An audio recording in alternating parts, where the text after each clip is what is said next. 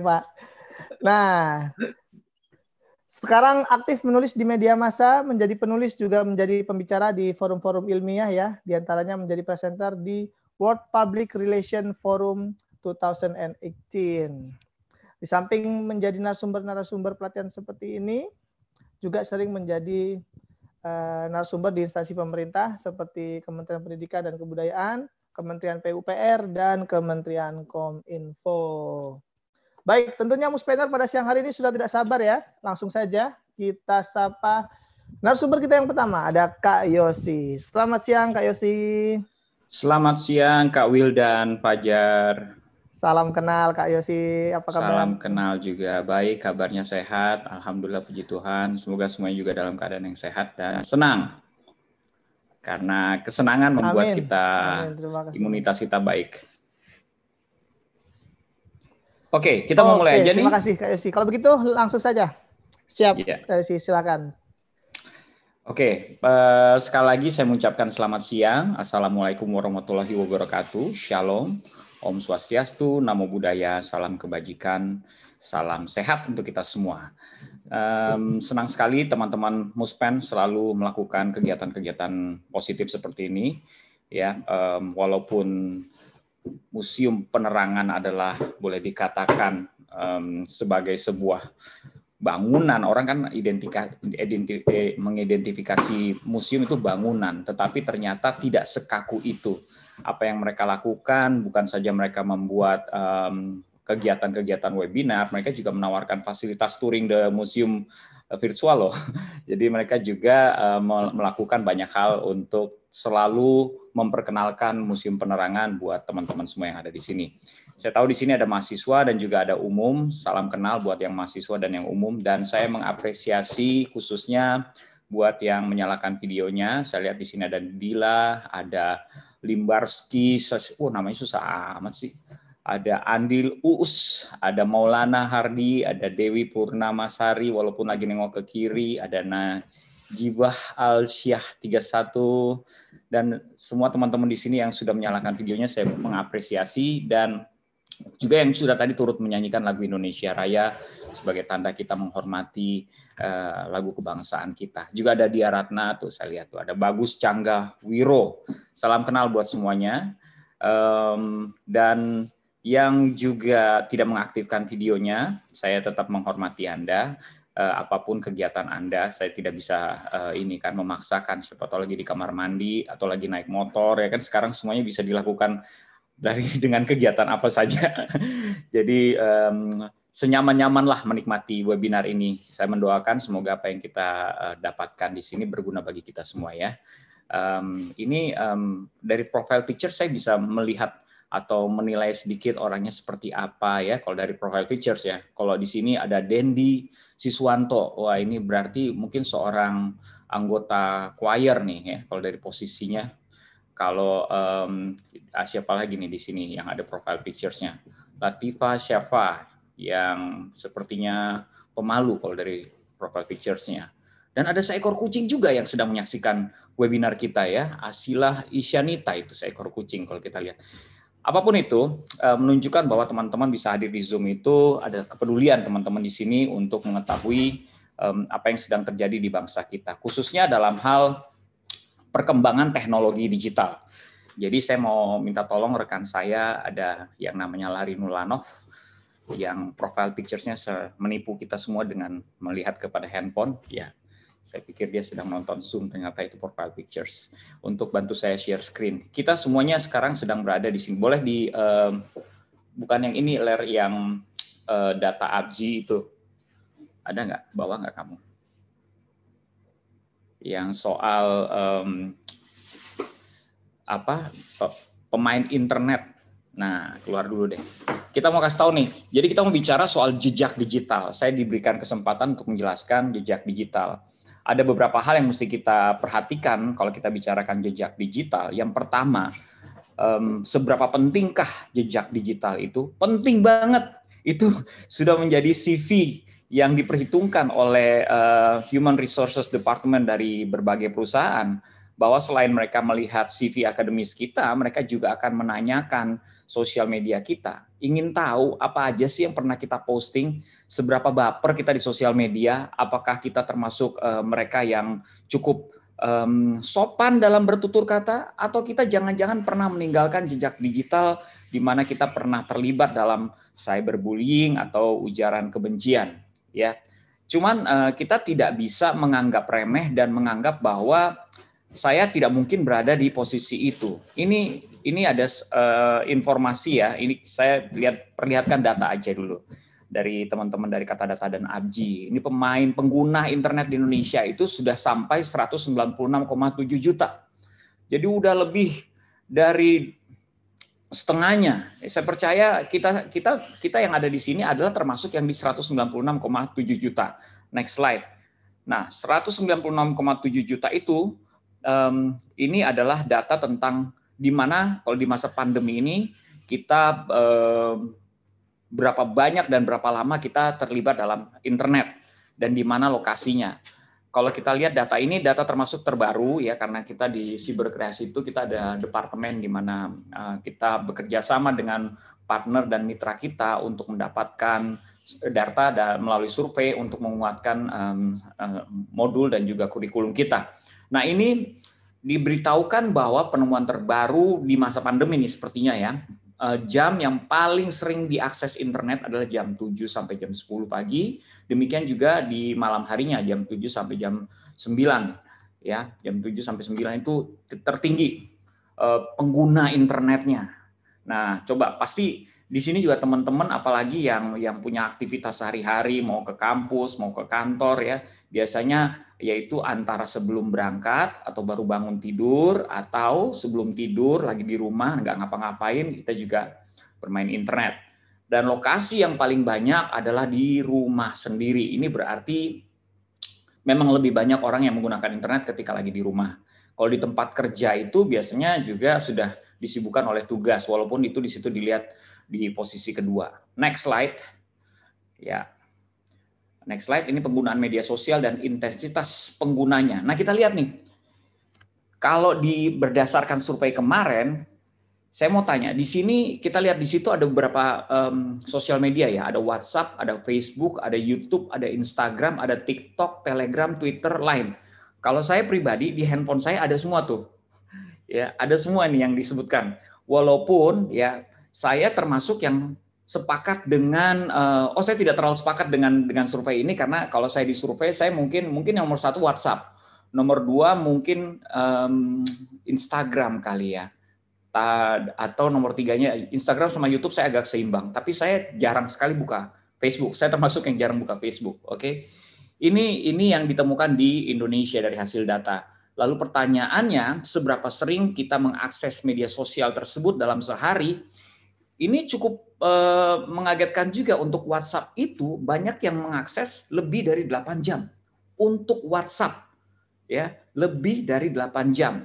Lalu um, uh, untuk Facebook ini yang berada di posisi kedua, mereka paling banyak uh, di 2 sampai bukan, ini kurang dari 2 jam ya kurang dari dua jam, tetapi 2 sampai 5 jam itu ada 31 persen. Nah, ini menunjukkan bahwa um, kita tuh cukup aktif di dua dua platform ini nih, WhatsApp dan Facebook katakanlah ya. Oke, next slide. Sedangkan di dua platform ini termasuk dua platform tertinggi di mana ditemukan um, hoax atau berita bohong, yaitu Facebook atau WhatsApp. Ini datanya ya. Jadi di media manakah yang sering kita temui menyajikan isu hoax atau berita bohong? Untuk multiple answers-nya nih, survei menunjukkan bahwa sebagian besar masyarakat menjawabnya Facebook, nomor dua WhatsApp. Ya mungkin di grup WhatsApp keluarga malah ya nggak sering juga kita menemukan berita-berita hoax yang disajikan di situ. Next slide. Jadi kesimpulannya, kita ini berada di sedang berada di masa arus informasi lagi kenceng-kencengnya nih. Bahkan ada yang me, me, menyimpulkan ini bukan cuma pandemi, ini juga masa infodemi, di mana info itu banyak banget. Sebegitu banyaknya informasi, sehingga kita tidak tahu lagi mana informasi yang bisa dipercaya. Siapa yang di sini yang sudah pernah berada dalam titik seperti itu? Ini informasi mana yang bisa saya percaya?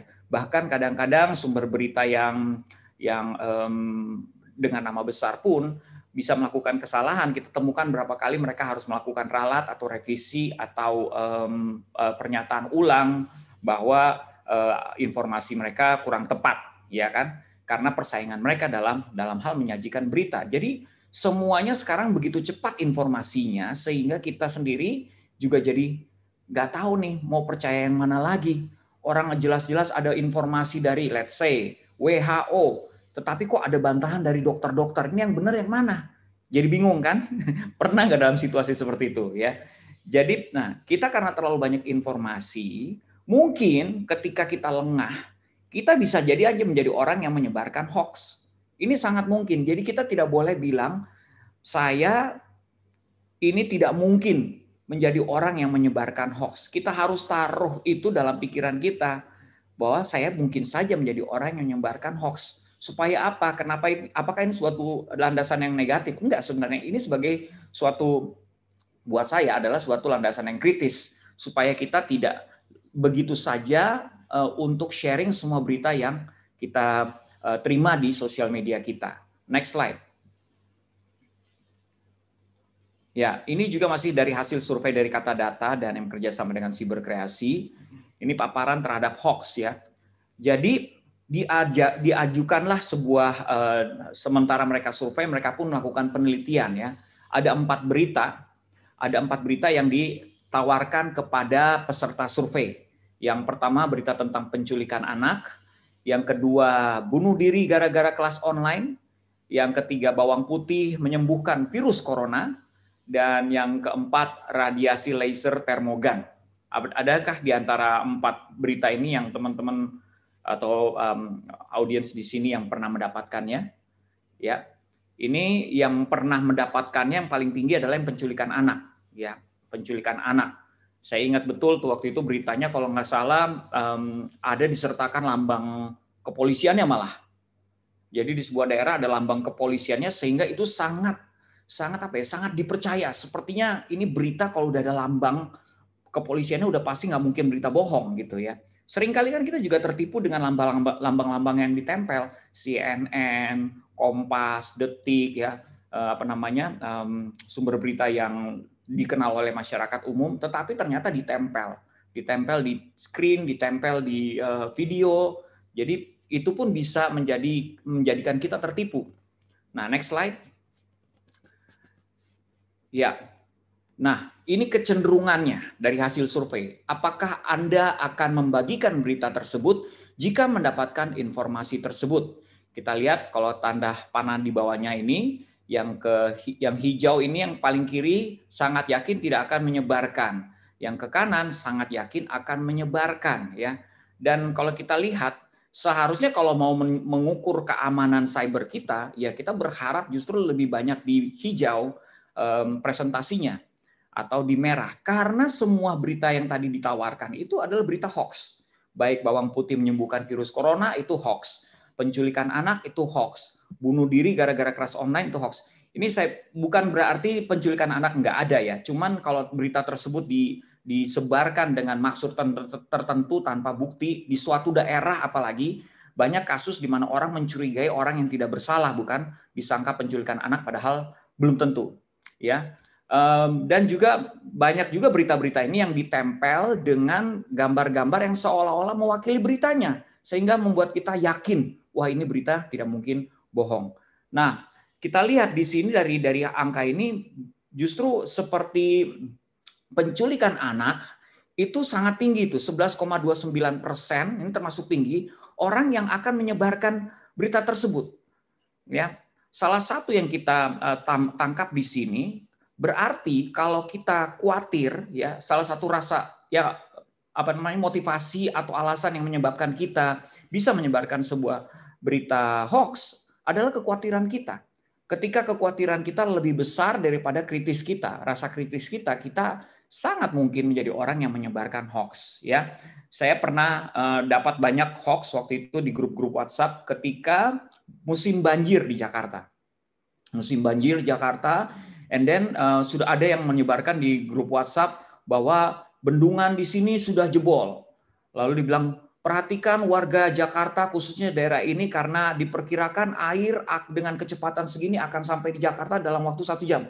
Nah itu banyak yang nyebarin tuh karena Jakarta sedang banjir, situasinya lagi musim hujan dan sepertinya memang pernah terjadi kasus bendungan jebol. Jadi begitu mereka melihat segala sesuatunya ini dan ditambah dengan situasi yang sedang berlangsung, rasa khawatir mereka seperti difasilitasi daripada rasa kritis mereka untuk ngecek benar nggak sih bendungan jebol, ya kan? Jadi itu yang membuat kita jadi mudah untuk menyebarkan hoax. Salah satu penyebabnya adalah rasa khawatir kita. Saya dulu pernah nih pengalaman pribadi nih, waktu di Tamrin dulu ada lagi berita-berita tentang teroris ya teroris, semua berita, semua media berita menyebarkan tentang berita teroris tersebut. Tiba-tiba di grup WhatsApp saya ada yang posting gambar orang pakai baju hitam-hitam bawa senjata di belakang punggungnya. Terus dia bilang gini, ini um, buat yang punya saudara dan teman-teman di daerah Pondok Indah disarankan jangan keluar rumah dulu karena ada dua orang mencurigakan bolak-balik naik motor um, dengan menggerakkan senjata di belakangnya. Ya. Saya, wah karena seharian saya nonton berita tentang teroris tersebut, saya jadi lupa untuk kritis. Saya jadi wah ini saya punya teman banyak nih Pondok Indah saya kasih tahu ah nggak ada salahnya saya kasih tahu mereka. Padahal ternyata emang itu berita hoax. Ya, untungnya saya sempat tarik lagi dari dari grup WhatsApp dan saya memberikan klarifikasi itu adalah berita hoax ya. Minta maaf gitu. Tetapi ini kan menunjukkan bahwa setiap kita sangat mungkin menjadi penyebar hoax kalau kita khawatir. Apalagi sih yang menjadi eh, kecenderungan orang menyebabkan menyebarkan hoax. Satu lagi adalah FOMO. Kita tidak mau mendapatkan kehilangan kesempatan menjadi orang yang pertama kali menyebarkan sebuah kabar atau berita baik. Seringkali begitu bukan? Wah ini berita yang sangat baik. Harus saya kasih tahu nih. Saya kasih tahu buru-buru. Ternyata ada ini, ternyata ada itu. Ternyata hoax. Next slide. Nah, menurut Anda, apakah berita tersebut berita hoax? Ya, kita lihat di sini dari seluruh responden ternyata masih banyak yang berada di tengah-tengah nih ya. Um, tidak tidak tidak terlalu yakin ya. Di, di biru ya di biru. Ini tanda panahnya belum dibenerin. Jadi tidak terlalu yakin dia antara ini berita hoax atau bukan nih di tengah-tengah. Tetapi yang sangat yakin ini tidak bukan berita hoax ini juga masih tinggi angkanya di penculikan anak ya. Oke. Okay. next. Next slide. Nah jadi um, kita lihat nih kita ukur lagi dari data kemarin dari semua sur, uh, peserta survei tersebut berapa orang yang pernah menyebarkan berita atau informasi kemudian hari yang ternyata informasi tersebut adalah hoax. Di sini yang menjawab tidak pernah itu 88,8 persen, hampir 90 persen. Keren ya. Antara benar-benar seperti itu atau mungkin juga nggak ngaku aja karena nggak tahu atau belum ketahuan bahwa berita yang sudah terlanjur mereka sebar itu ternyata hoax ya. Tetapi kita lihat kita fokus dari yang sudah pernah ya. Apakah alasan Anda menyebarkan berita atau informasi tersebut? Dari yang sudah pernah ini 11,2 persen. Ini menarik sekali. Hanya meneruskan berita yang tersebar ter, tidak terlalu dipikirkan apakah itu hoax atau bukan. Ini menarik sekali. Jadi tidak ada sama sekali apa ya critical thinkingnya, tidak ada sama sekali uh, kewaspadaannya.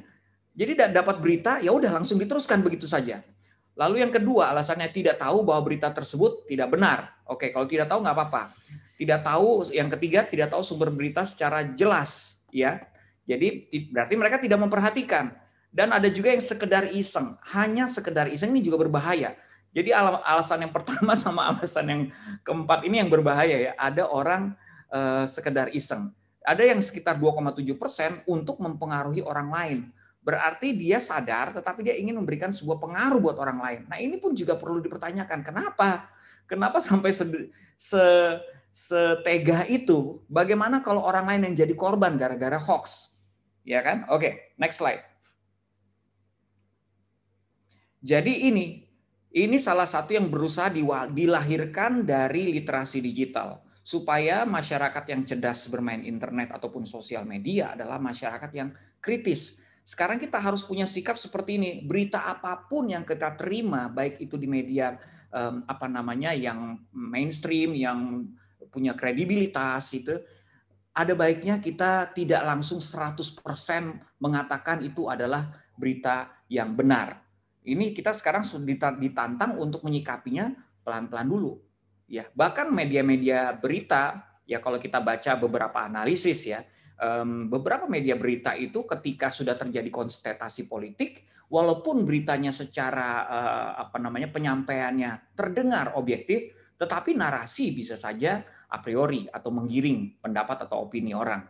Ya, ini bukan hal yang pertama. Kalau dulu kita suka nonton acara-acara gosip, itu banyak sekali narasi-narasi yang apa ya, yang mengajak orang berpendapat atau beropini. Misalnya contoh narasi seperti ini pantaskah seorang public figure melakukan hal seperti itu? Ya walaupun kelihatannya seperti pertanyaan, tapi itu kan sebenarnya narasi yang mengajak orang untuk, you know, ya tidak pantas kali ya, ya orang untuk berpikir sesuatu gitu ya. Jadi um, ini yang membuat kita harus berhati-hati dalam segala jenis bentuk informasi yang kita dapat. Next. Nah, ini um, juga ditemukan ya jadi dari uh, survei tadi ditanya nih, kita ini mereka membuat sebuah indeks ya indeks uh, literasi digital. Salah satu indeks tersebut adalah mengukur berpikir kritisnya um, audiens survei ya. Nah ini kita lihat di sini um, ada empat perilaku yang dijadikan ukuran. Apakah kamu termasuk orang yang terbiasa mencari tahu apakah informasi yang ditemukan di situs web benar atau salah ya yang di tengah-tengah itu banyak 42,6. Yang terbiasa mencari tahu gede 36,8 persen, tapi masih besar di 15,3 yang yang apa namanya tidak tidak mencari tahu ya. Terus apakah kamu terbiasa membandingkan berbagai sumber informasi untuk memutuskan apakah informasi itu benar? Ini juga masih angka kuningnya masih besar ya.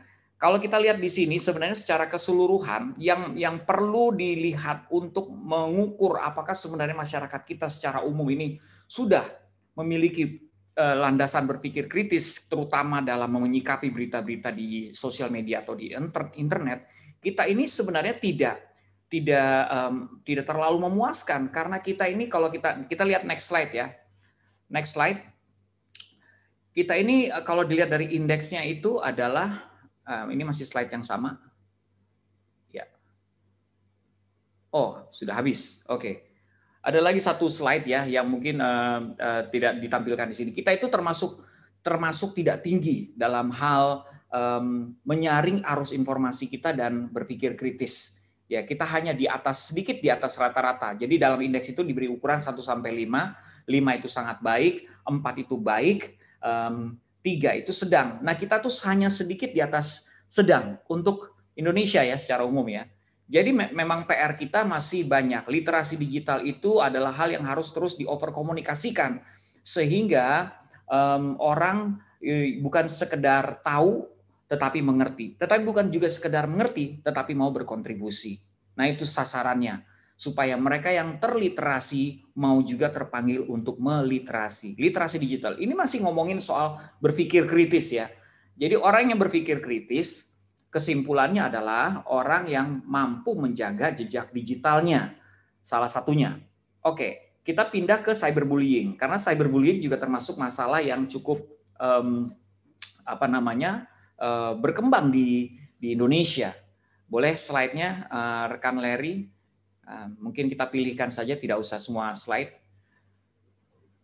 Ya, ya itu eh, tadi yang pertama kali kamu share itu yang soal perundungan atau peruntungan. Oke, nah kalau cyberbullying itu menarik, ya. Ini menarik di Indonesia itu eh, cukup banyak orang yang pernah mengalami dirundung atau dirisak atau dibully, ya bahasanya ya.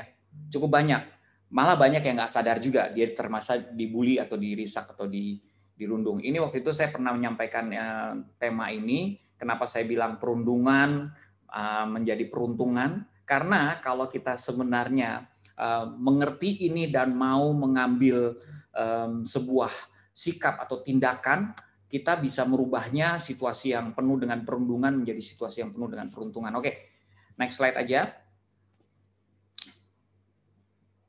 Ya, um, ini saya rasa semuanya juga udah tahu. Next slide.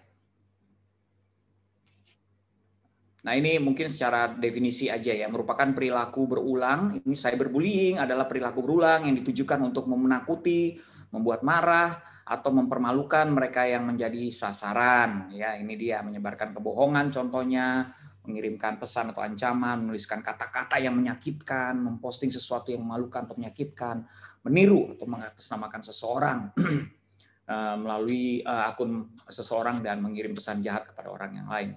Oke, okay, next slide. Ya, ini ini yang tadi saya sebutkan ya. 49% pengguna internet pernah dirisak di medsos. Nah, menarik nih kalau kita perhatikan tuh ada ada beberapa reaksi mereka ya, respon, respon terhadap bullying di medsos yang membiarkan tuh banyak banget ya. Yang balas merisak ada 10% di urutan kedua, 8% eh, ya. Menghapus ejekan tersebut ini mungkin dikatakan 5%. Laporkan kepada pihak berwajib makin kecil dan yang lainnya boleh dikatakan lebih sedikit lagi. Oke. Ini reaksi dan respon kita di sosial media. Ini ada yang menarik dari cyberbullying. Yang mau saya sampaikan di sini adalah next slide. Nah ini, ini adalah pertanyaan yang yang muncul dalam kasus cyberbullying. Menarik. Jadi pertanyaan yang paling tinggi waktu itu ini yang membuat yang membuat pollingnya adalah UNICEF ya ketika mereka memeriksa para korban cyberbullying atau pelaku internet secara umum ini muncul pertanyaan ini, apakah saya sedang dibully secara online atau bagaimana kita membedakan antara lelucon atau candaan dengan bullying? Intinya, sebenarnya banyak orang yang masih tidak bisa membedakan antara bercanda atau tidak. Ya, ini nggak usah dalam sosial media. Dalam kehidupan sehari-hari aja, kalau kita sebelumnya pandemi kita masih ketemu sama teman-teman, benar nggak? Kalau misalnya teman-teman kita ketika dia bercanda, terus menurut kita itu nggak lucu, jangan-jangan dia ngeledek gua, terus kita tanya lagi, eh lu bercanda ya? Lu bercanda nggak sih? Ya nggak? Kita kita aja yang yang menghadapi komunikasi dengan intonasi dan bahasa yang jelas ya, ini bukan chat ya.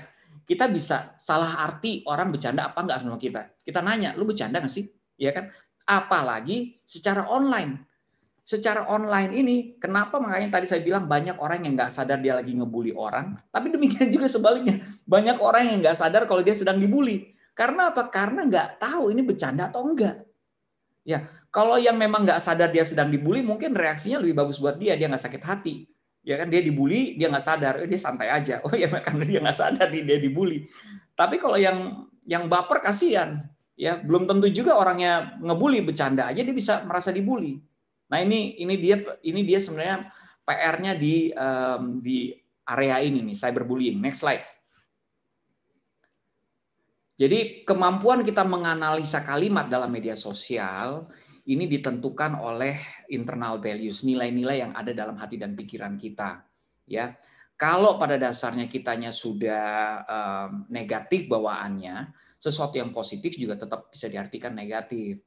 Misalnya, contoh, judul-judul clickbait gitu ya atau nggak usah judul clickbait, judul yang objektif aja. Ketika kita sudah a priori dalam pilihan kita, biasanya kalau judul tersebut menyerang pendapat kita, walaupun judul tersebut objektif, kita mengartikannya ini negatif karena dia tidak sependapat dengan kita. Seringkali kita begitu, bukan bukannya kita menaruh atau mengartikannya dan menyimpulkannya ini judul yang objektif, kita sudah memilih ini judul yang berpihak kepada siapa, tidak negatif, eh tidak objektif, eh tidak positif atau tidak negatif, tapi sudah kita sudah sendirinya um, menyimpulkannya kepada uh, sebuah tempat.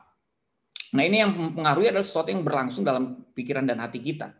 Ya, sering kali dalam komunikasi kita dengan orang juga sebenarnya seperti itu bukan? Kalau kita pada dasarnya sedang sedang moodnya lagi buruk ya kita bisa salah tangkap dengan uh, penyampaian pendapat atau uh, uh, kalimat seseorang karena mood kita lagi nggak enak.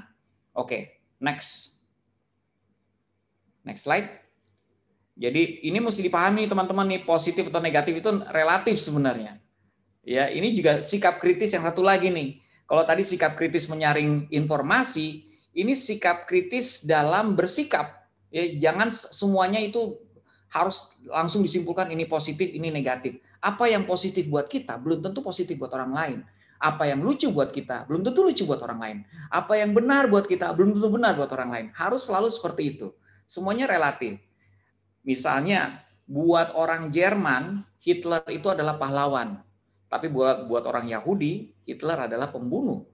Buat orang um, Romawi, Julius Caesar adalah seorang pahlawan, panglima perang yang hebat. Tapi buat negara-negara negara-negara jajahan bangsa Romawi pada saat itu dia belum tentu pahlawan, dia disebut pembunuh mungkin karena berperang dengan sedemikian um, jahatnya. Oke. Jadi semuanya itu positif atau negatif itu relatif. Menarik ini sebenarnya kalau waktunya panjang saya akan bisa menunjukkan sebuah video. Ada ada anak SMA yang membuat sebuah penelitian, dia membuat video di channel YouTube, bisa dilihat di channel YouTube bahwa dia ingin melihat reaksi orang ketika dia dia videokan dengan dengan menyebutkan bahwa orang tersebut adalah menurut saya kenapa kamu saya videokan, saya ambil gambar kamu karena kamu adalah orang yang beautiful person in this school.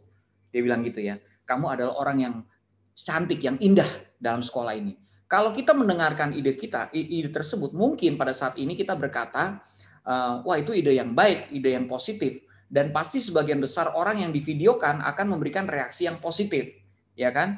Dan demikianlah ketika kita menonton video tersebut, kita akan melihat bahwa ada orang yang, wow, that's that's so nice of you, that's so cute. Oh, ini merubah hari saya. Kamu baik sekali. Memang ada pendapat seperti itu, tapi perhatikan reaksi dan ekspresi uh, seluruh kontestan yang di, di videokan. Ada yang cemberut juga, ada yang senyumnya seadanya, bahkan ada yang um, curiga yang bilang, "Are you serious?" Coba diulangi lagi, "I cut your face." Ada yang marah seperti itu. Artinya apa? Buat kita kayaknya itu masih positif deh. Dia tidak berusaha, berusaha membuat sesuatu yang negatif, tetapi ternyata tidak berlaku umum. Apa yang positif atau negatif itu sangat relatif. Next slide. Next slide. Oh ini dia videonya ya. Eh, oh ini ini ini video sebenarnya eh, cara saya menjelaskan dengan pendekatan yang lain yaitu ini video di Cameo Project saya pernah bikin video judulnya Hey Anjing. Cuman saya tidak tidak akan mengarahkan ke sana supaya waktu kita untuk tanya jawab nanti banyak ya. Ya, an, saya suka pakai kata anjing untuk menunjukkan apa sih yang ada dalam hati dan pikiran kamu ketika kamu mendengar kata anjing Are you tersinggungkah, kasarkah, atau kita masih bisa mengendalikan diri kita bahwa hanya yaitu kata anjing secara etimologis kakinya empat dan bisa menggonggong, bisa jelaskan seperti itu. Tapi ada loh orang yang begitu ada mendengar kata anjing langsung yang keluar di sini konklusinya adalah negatif, kasar, you know. Banyak. Kenapa? Karena kata anjing sering digunakan dalam dalam perdebatan, dalam mencaci seseorang, dalam umpatan, dalam reaksi marah karena dia sering dipergunakan seperti itu, makanya kata anjing tersebut yang seharusnya secara etimologis berdiri secara objektif, tetapi mengalami degradasi nilai. Nyawanya kita kasih negatif, ya kan? Di Sunda sih nggak selamanya anjing itu negatif ya. Karena saya suka bilang kalau teman-teman saya, nah orang-orang Bandung tuh kalau ketemu teman-temannya yang dekat, mereka bisa ngomong si anjing. Eh si anjing ke mana wae? Mereka ngomong kayak gitu bukan berarti dia benci sama orang ini. Jadi ya ini sangat relatif. So, um, yang menentukan perilaku kita di sosial media, khususnya dalam kaitan dengan ujaran kebencian ini, adalah how secure we are. Seberapa amannya kita terhadap diri kita. How well do you know yourself? Seberapa dalamnya kamu ketahui tentang diri kamu. Next. Ya, nah ini kita lihat nih. Di sini ya reaksinya kenapa saya balik lagi ke data ini? Karena data ini menarik sekali membiarkan. Saya merasa orang-orang yang membiarkan ini adalah orang-orang sebagian dari mereka adalah orang-orang yang secure. Kenapa? Karena dia tahu bahwa orang yang ngebully mereka ini mungkin tidak mengenal diri mereka seperti mereka mengenal dirinya. Ya membiarkan. Atau bisa juga yang yang membiarkan ini karena tidak tahu mau ngapa-ngapain, tidak berani melawan, jadi dia membiarkan saja.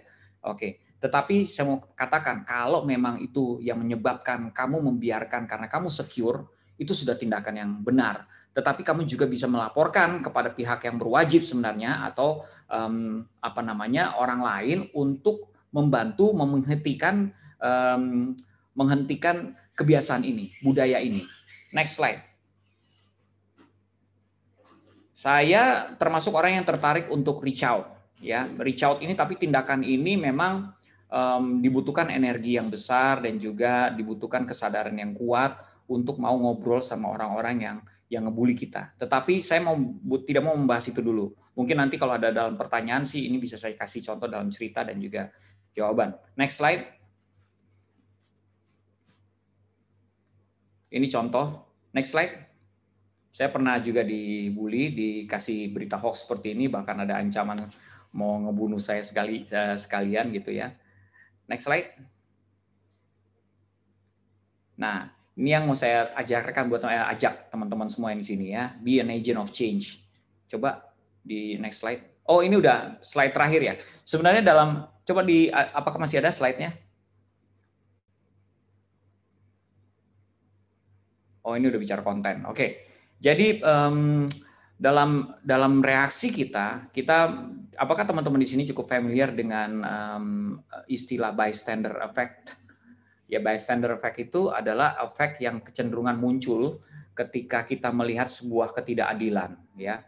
Yaitu Uh, mungkin salah satu hipotesanya seperti ini. Ketika kita berkumpul dengan semakin banyak orang, terus ada satu ketidakadilan berlangsung di hadapan kita, kita tidak serta-merta menjadi orang yang akan menjadi seorang upstander, seorang yang membela, seorang yang menolong, seorang yang menawarkan pertolongan atau melindungi. Tidak. Kenapa? Karena itu ada yang namanya um, uh, tanggung jawab yang bias, yang yang kita harapkan orang lain melakukannya terlebih dahulu. Kenapa harus saya? Kan ada orang lain. That's bystander. Sedangkan yang mau saya ajak adalah bukan sekedar menjadi upstander. Upstander adalah yang mau um, berdiri buat orang-orang yang dibully, berdiri dan membela teman-teman mereka yang yang yang diserang oleh ujaran kebencian. Yang mau saya ajak adalah tadi yang saya bilang. Kalau an agent of change when you when you decide to be an upstander itu udah udah already bagus banget. Tetapi kalau kamu mau lebih jauh lagi you need to reach out. Itu yang saya lakukan kemarin ketika saya dibully I'm reaching out saya ajak ngobrol baik saya ajak ngobrol dengan santun saya uh, lengkapi di uh, mereka dengan informasi yang perlu mereka ketahui Ya, walaupun saya temukan juga dalam dalam uh, beberapa audiens yang mengebuli saya, mereka cuma melakukannya by, you know, karena karena sistem, karena memang disuruh, karena memang uh, apa namanya bagian dari uh, gerakan atau kegiatan mereka. Tetapi itu pun tidak men, uh, tidak menutup kemungkinan saya bisa membuat sesuatu, menanamkan sesuatu yang baik dalam pikiran mereka bahwa you know what, um, it's okay to be different. Saya pernah ke uh, diajarkan oleh seorang profesor ketika itu karena saya mewakili Cameo Project um, menjadi ambasadornya uh, programnya YouTube yaitu Creator for Change. Kita dikirim ke London dan profesor di um, di salah satu kelas tersebut dia adalah seorang berkebangsaan UK tadinya berkebangsaan eh, Suriah mengajarkan saya ini ya bukan saya saja tapi all the ambassador yang yang terpilih jadi uh, Creator for Change dari YouTube. Dia bilang kayak gini you guys uh, content creator are already really good in making content of video dia bilang gitu. But have you ever thought in reaching out um, menjangkau merangkul uh, audiens kamu yang berbeda dengan kamu yang yang jahat sama kamu yang yang memberikan ujaran kebencian sama kamu nempel sama saya sampai hari ini pesan tersebut kita sempat bertanya reaching out itu apa ya kamu ajak dialog kamu taburkan satu benih yang benar yaitu bukan benar salah tetapi it's okay to be different and because you are satu bangsa dan satu tanah air sama saya, I love you for that. Saya mengasihi saudara. It's okay. Itu yang saya lakukan kemarin. Saya ketika saya reach out, saya mendapatkan 90% lebih respon positif. Orang jadi santun, orang jadi bisa terbuka. Walaupun sebagian dari mereka pun ini termasuk akun-akun yang uh, postingan nol, followersnya sedikit ya, tidak pernah post uh, apa namanya Eh, eh following dia following banyak banget, followersnya dia sedikit, postingannya nol. Jadi jelas memang akun-akun yang memang sengaja dibuat untuk kepentingan politik. Itu pun masih bisa dirangkul karena behind that akun it's a human, orang, manusia yang punya perasaan. So, ini yang mesti kita perhatikan dalam jejak digital kita. Yang pertama, bersikap kritis.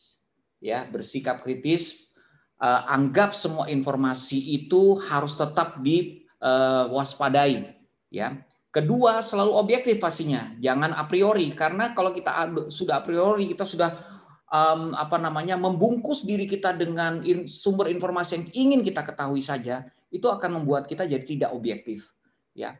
Jadi kita harus tetap membuka wawasan kita untuk semua informasi. Sehingga apalagi di sini banyak mahasiswa, mahasiswa bisa berdiri di sudut yang netral, ya Ini bukan masalah pro pemerintah atau oposisi dari pemerintah. Sudut yang netral itu memperjuangkan masyarakat banyak. Jadi masyarakat yang lebih banyak lah yang perlu diperjuangkan. Adil dan benar itu memang selalu harus kita kritisi. Ya, tetapi yang kita harus um, meletakkan diri kita keberpihakan kita adalah masyarakat banyak, bukan partai politik, bukan pemimpin yang apa namanya belum apa-apa sudah ke sana, tetapi masyarakat banyak. Justru itu yang harus kita pikirkan, masyarakat banyak masa depan generasi ini. Kalau saya sih seperti itu, termasuk juga uh, be an agent of change. Karena um, jangankan jangan tertarik untuk ngebully ya, karena ngebully ini penyakit menular katanya. Uh, Mas Wildan, bullying itu penyakit menular katanya. Ada orang yang di, uh, di apa namanya kalau saya anak-anak saya anak saya pernah ngobrol gitu ya, teman-temannya suka ngajak, yuk kita ah, mampir ke channel YouTube si ini, terus kita uh, dislike banyak-banyak gitu loh. Jadi buat mereka itu masih bercanda, you know? tapi buat buat yang apa namanya yang terkena oleh uh, perilaku mereka, dia merasa dibully pastinya kan. Jadi bullying itu kadang-kadang orang ngebully orang lain karena ngelihat banyak yang melakukannya. Atau teman-teman yang keren-kerennya sudah melakukan, masa gue nggak melakukan? Jadi jangan tertarik untuk itu. Tertariklah to be an agent of change. Kalau mau jadi upstander keren, kamu ngebela. Tapi kalau kamu yang dibully, kamu mau reach out, kamu lebih keren lagi. Karena itu butuh tenaga dan uh, energi pastinya dan juga kecerdasan wawasan untuk bisa menjawab dengan sopan dan benar. Itu saja dari saya. Nanti uh, saya akan mencoba menjawab pertanyaan kalau ada di kolom chat dan terima kasih buat waktunya. Baik, terima kasih banyak Kak Yosi luar biasa nih. Hari ini kita belajar bahwa kita harus bersikap kritis, objektif, serta ternyata siang hari ini kita tidak hanya diharuskan menjadi smart netizen nih, tapi juga diharapkan bisa menjadi agent of change. Luar biasa. Oke, Kak Yosi sudah ada tiga pertanyaan, tiga penanya nih. Boleh saya bacakan ya Kak ya? Ya, boleh, boleh. Yang pertama dari Eli Safitri uh, dari Bogor nih. Kak Yosi izin bertanya, Kak Yosi kan seorang public figure nih. Nah, jika ada pengalaman Kak Yosi dibully, kira-kira berpengaruhnya terhadap apa aja nih? Mungkin imunitas tubuh, kesehatan mental, ataupun bahkan ke kinerja. Lalu pertanyaan kedua, bagaimana cara membangun kepercayaan netizen terhadap sesuatu yang kita share dan kita anggap benar. Silakan Kak Yosi. Ya. Oke, sebentar ya. Pertanyaan pertama dari siapa tadi Mas Wildan? Elisa Fitri. Hai Elisa Fitri. Saya bisa melihat kamu mengaktifkan video kamu. Oke, okay. uh, eh, jadi memang betul uh, kalau kita dibully ini bisa dampaknya luas banget. Ya, waktu ini saya cuma share apa yang terjadi sama saya. Um, waktu itu gara-gara sebuah talk show di mana salah seorang narasumbernya tidak memberikan jawaban yang tidak lengkap, sehingga jawaban yang tidak lengkap tersebutlah yang di um, di istilahnya di diolah menjadi sebuah berita yang yang menyerang dan provokatif. Dan salah satu yang kena imbasnya adalah siberkreasi ya, sebagai gerakan nasional literasi digital. Dan terus ada satu kegiatan mereka yang judulnya School of Influencers karena yang dimaksudkan oleh narasumber tersebut adalah sebenarnya kegiatan itu School of Influencers. Tetapi talk show tersebut sedang membahas tentang buzzer dan influencers pemerintah. Jadi orang-orang mengkaitkannya karena dibungkusnya ke sana. Ada hubungannya siberkreasi dengan buzzer atau influencer pemerintah yang menghabiskan duit besar. Ya tapi semuanya sudah saya jawab dengan uh, dengan memberikan uh, link yang benar mereka semuanya bisa ngecek bahkan ini tentu saja semuanya bisa dipertanggungjawabkan apa yang kita lakukan. Di Instagram ada website ada semuanya ada. Dan kita bukan hal uh, bukan sebuah uh, kegiatan yang baru kita sudah tiga tahun. Anyway ketika dibully yang diserang itu banyak. Bukan cuma saya tetapi keluarga saya juga diserang tuh. Ada yang mampir-mampir ke istri saya ada yang mampir ke anak-anak saya you know yang yang saya perhatikan pertama kali adalah begini. It's always dimulai dari um, karena di situ saya memimpin berarti dimulai harus dengan saya mengendalikan diri saya. Ya kan? Jadi saya harus gain control on myself gitu. Nah kemampuan mengendalikan diri saya itu um, selalu berasal dari security kita. Uh, saya selalu bilang kayak gini, um, security itu berhubungan dengan kedewasaan. Kedewasaan itu berhubungan dengan ini. Kalau saya ya, sekali lagi ini kalau saya, saya selalu bilang ini, sampaikan tadi di slide memang nggak ada. The day when you say, atau saat, pada saat kamu mengatakan apa yang dan, memutuskan apa yang Tuhan katakan tentang kamu adalah yang paling matters, di situlah kamu sudah mulai dewasa.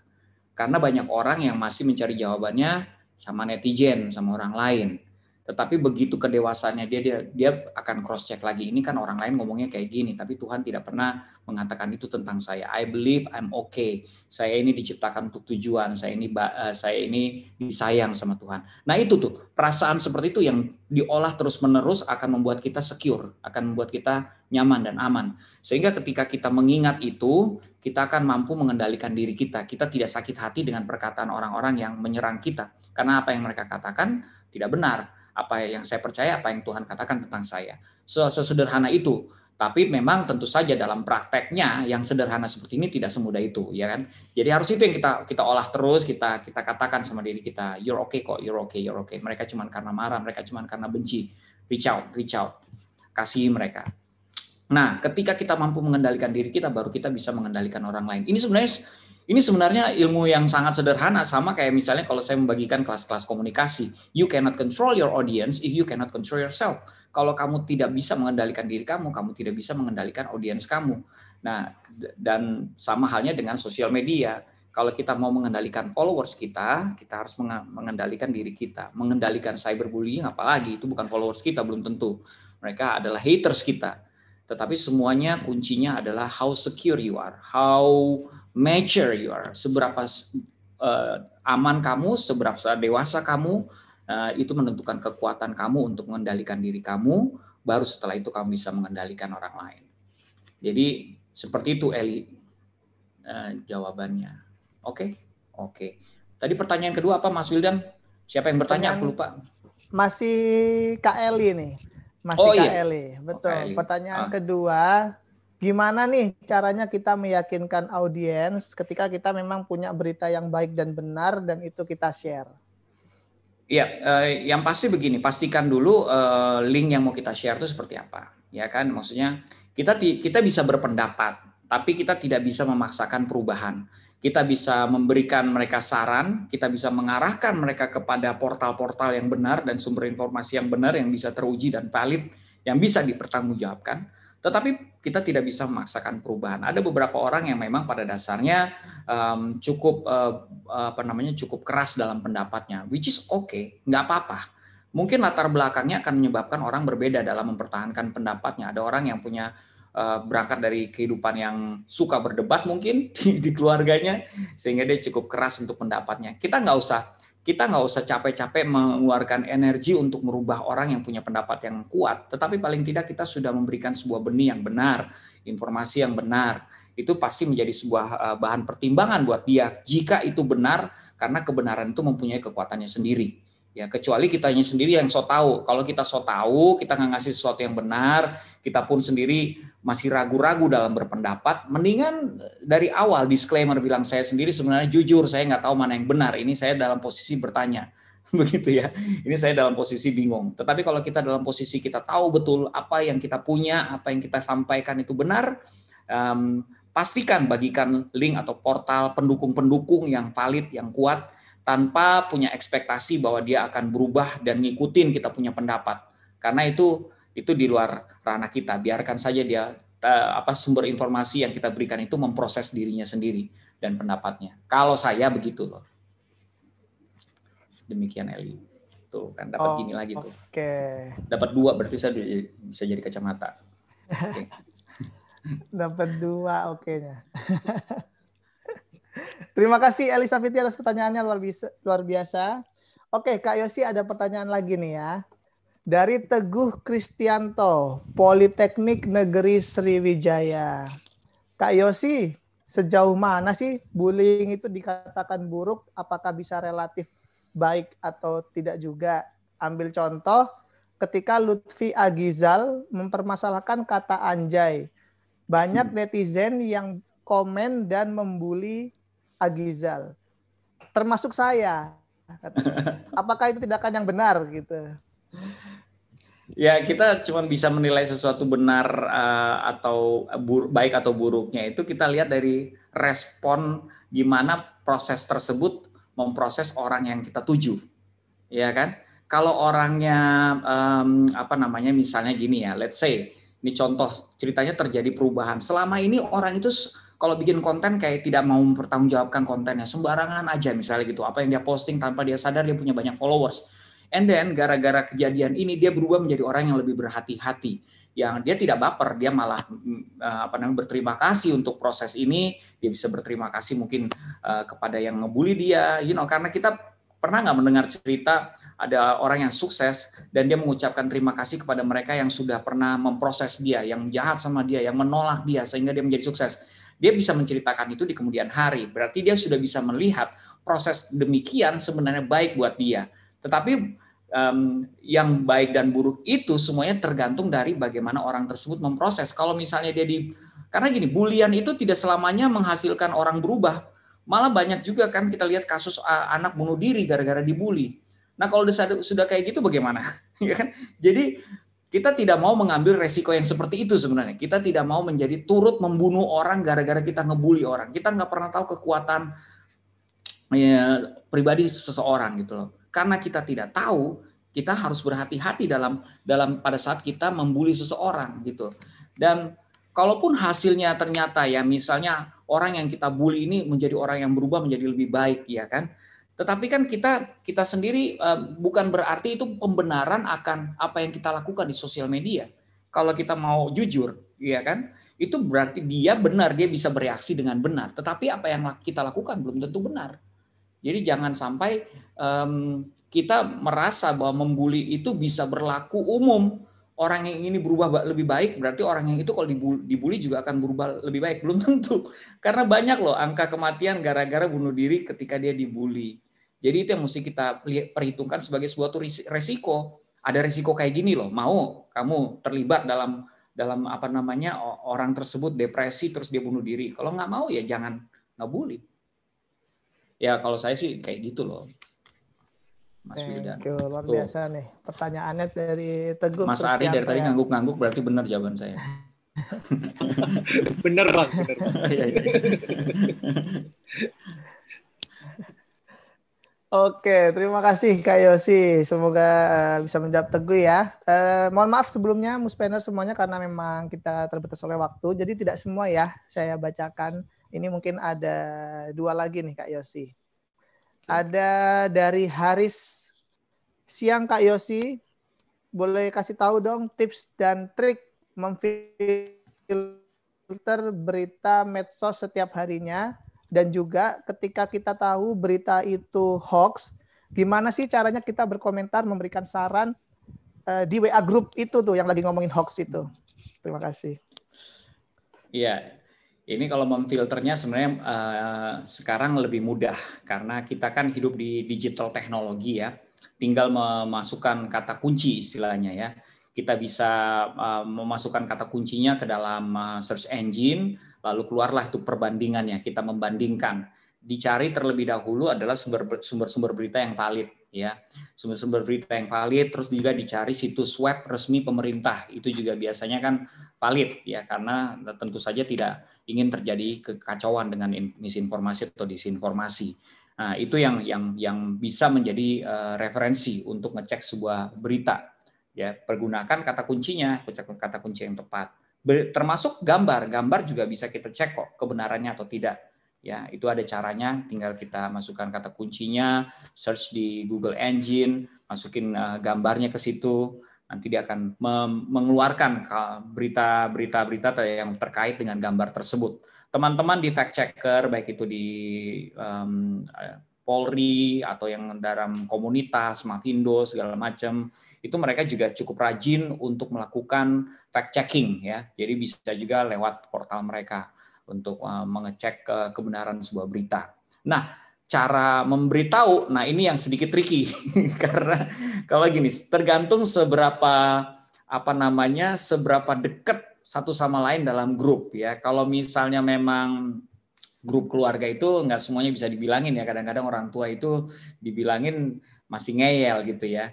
Jadi itu sama saja sih sebenarnya kayak mau ngasih tahu orang yang sedang ngebully orang, kita tidak mengharapkan mereka berubah, tetapi biarlah informasi yang benar yang kita taruh itu sebagai pembanding saja. Jadi kita kalimatnya juga bisa saya sarankan bisa lebih pada menyarankan. Boleh nggak dibandingkan dengan berita yang ini? Siapa tahu kita bisa. Jadi kita tidak tidak mengarahkan orang marah-marah langsung. Kalau di grup keluarga ya ini ya. Mungkin kalau di grup yang yang kita nggak dekat satu sama lain terus ada yang hoax ya kita bisa langsung tegas itu hoax mas ini ini ini referensi linknya ini ya kenapa dia disebut hoax gitu ya um, Uh, tentu saja pastikan kita sudah punya uh, apa namanya sumber informasi yang terpercaya untuk dijadikan pembanding. Kalau belum, biasanya dia akan bertanya, taunya dari mana itu hoax gitu. Dan dan dan apa namanya itu perlu dilakukan. Jadi memang kalau sudah bertanya kayak gini, saya suka ada pertanyaan kayak gini, berarti yang bertanya mau melakukannya di grup-grup, baik itu grup WhatsApp keluarga atau grup WhatsApp umum, perlu dilakukan supaya supaya orang-orang jadi lebih ber, berhati-hati dalam grup WhatsApp Ingat tadi kan kita lihat dari datanya, eh, pemain WhatsApp itu meningkat loh. Ada yang 8 jam sehari lebih main WhatsApp, ya. Berarti di situlah sumber-sumber informasi beredar juga. Makanya kita harus menjadi polisi di setiap grup WhatsApp. Mau kalau polisi bahasanya terlalu tegas, ya taruhlah jadi agent of change di grup-grup WhatsApp dengan kalau ada hoax kita ingatkan ini hoax kayaknya mas gitu. Karena kalau enggak yang lain yang enggak ngerti yang berada di grup yang sama bisa jadi mereka yang terjebak dan turut men-share di grup yang lain. Itulah yang terjadi di WhatsApp. Kenapa informasi hoax sering sering banget secara masif tersebar? Karena ya itu karena tidak ada yang menjadi agent of change, tidak ada yang menjadi polisi yang ngasih tahu ini hoax gitu. Tidak ada yang mau meluangkan waktu untuk ngasih tahu. Jadilah tersebar berita-berita seperti itu. Terima kasih buat pertanyaannya. Terima kasih Kak Yosi. Dan juga Haris nih luar biasa ya. Jadi Haris nih udah punya bibit-bibit menjadi agent of change nih ya. Minimal di grup WA-nya nih. Yes. Semangat. Oke. Terakhir nih Kak Yosi. Uh, ya. Tapi ini ada dua pertanyaan dari dua orang yang berbeda. Menurut saya pertanyaannya uh, penting. Sama. Jadi nggak apa-apa ya Kak Yosi ya. Oke. Yang pertama ada dari Hasan Saputra, SMA 1 Jatiwangi, Majalengka. Di masa pandemi seperti ini, kawan-kawan kita yang berkebutuhan khusus atau difabel ikut mulai aktif menggunakan medsos dan beraktivitas di dunia maya. Nah, kira-kira jika kita merupakan teman teman-teman khusus tadi, gimana caranya kita menjaga agar mereka bisa terlindungi dari bullying. Lalu pertanyaan kedua ada dari Helmi Yusuf, Universitas Nasional. Kepada siapakah saya harus melapor atau memberitahu jika saya mendapatkan cyberbullying? Terima kasih. Silakan Kak Yosi. Ya, kalau yang eh, teman-teman eh, ini pertanyaan bagus ya. Eh, memang sekarang ini banyak yang sudah mulai lebih memperhatikan karena memang kita mulai melibatkan semua konten apalagi yang berhubungan dengan literasi digital agar bisa di, uh, dinikmati dan dihadiri juga oleh teman-teman di Fable. Itu dengan uh, beberapa webinar kita kita menyertakan um, praga ya uh, dan juga subtitle untuk yang tidak live yang yang masih sempat diedit itu kita sertakan subtitle supaya mereka bisa um, apa namanya mengerti dan mempelajari apa ya materi yang disampaikan. Nah, ini kalau misalnya tips melakukan pendampingan untuk kawan difabel dalam beraktivitas di dunia digital, ini memang uh, uh, belum menjadi ke apa namanya satu fokus dari uh, literasi digital selain dari apa yang sudah saya sampaikan tadi. Kalau dari siberkreasi kita melakukan apa yang bisa kita lakukan, kita kasih subtitle, kita kasih juga peraga Um, tetapi uh, di video klip yang terakhir juga kalau nggak salah kita buat video judulnya Aku Sejak Kecil, yaitu kita juga menyertakan teman-teman difabel untuk um, ada dalam memerankan dalam video tersebut supaya mereka pun bisa memberikan inspirasi teman-teman yang lainnya. Bukan saja generasi yang sebaya dengan mereka karena ini masih muda-muda tetapi juga untuk teman teman-teman yang senasib dan seperjuangan dengan mereka ya untuk turut menjadi agen-agen um, perubahan yang terliterasi dan juga meliterasi. Nah, pendampingan ini saya rasa karena kalau saya tadi tidak tidak tidak menyajikan sebuah slide ya. Tidak ada slide yang yang mengatakan dari hasil survei itu apa yang paling diharapkan oleh masyarakat dalam mengajarkan literasi digital ya. Dalam memerangi hoax segala macam gitu jadi siapa eh siapa siapa yang diharapkan nomor satu itu di slide itu adalah pemerintah nomor satu uh, pemerintah tetapi ketika nomor duanya ini penting, yaitu seluruh warga negara.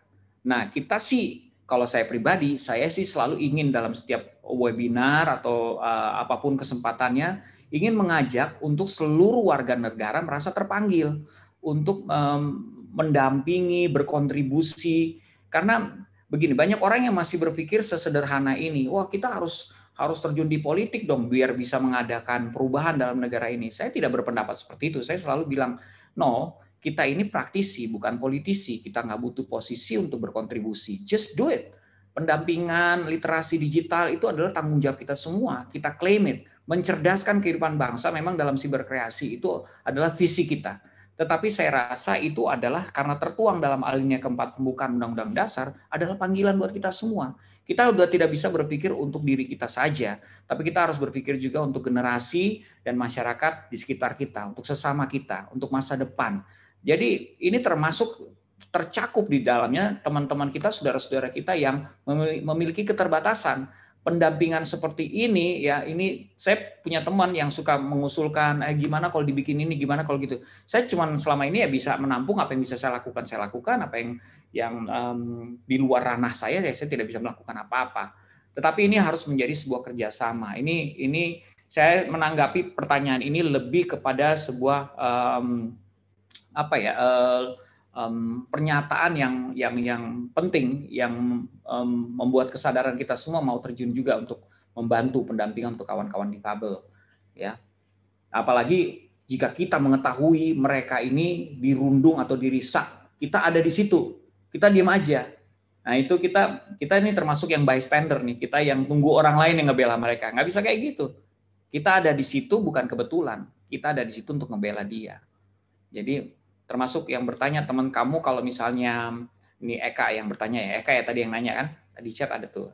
Eka kalau misalnya kamu di grup kamu ada melihat punya teman kamu yang disable terus dia dirundung atau dirisak kamu bela.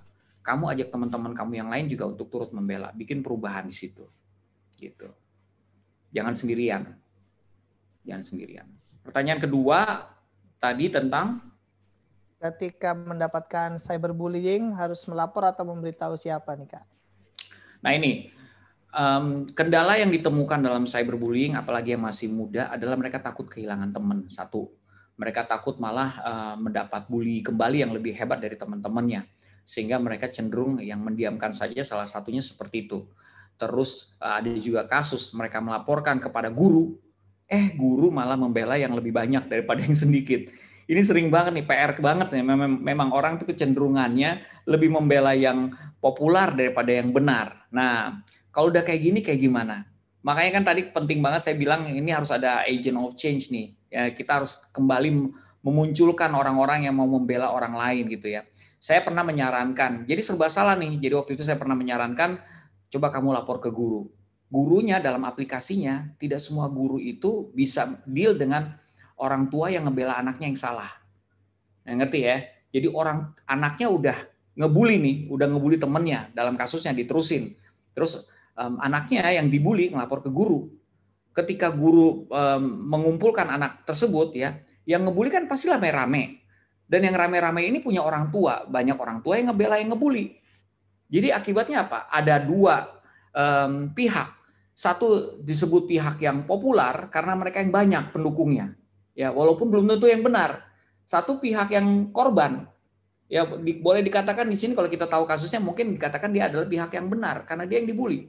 Nah kalau udah kayak gini kayak gimana? Guru nggak bisa mengambil keputusan karena nggak berani.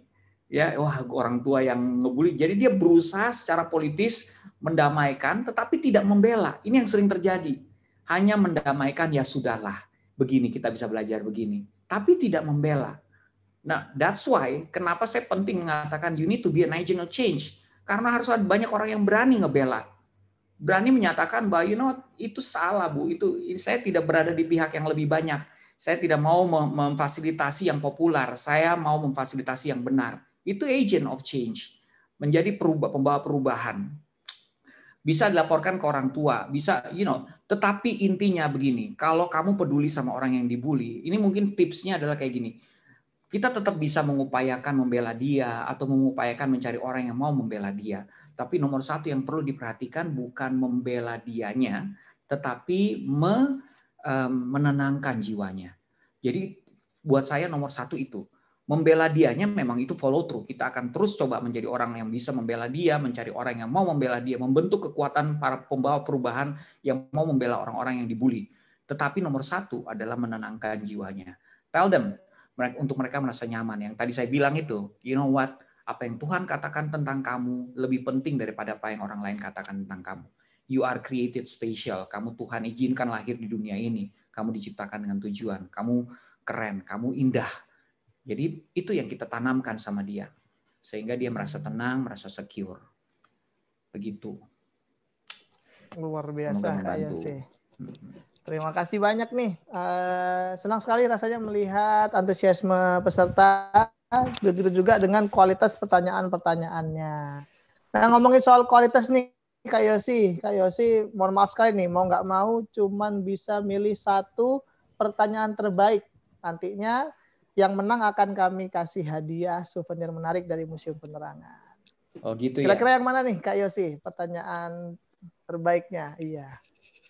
Oke, uh, pertanyaan terbaiknya adalah yang tadi bertanya paling banyak huruf A-nya. Wah, harus susah, ngitung dulu.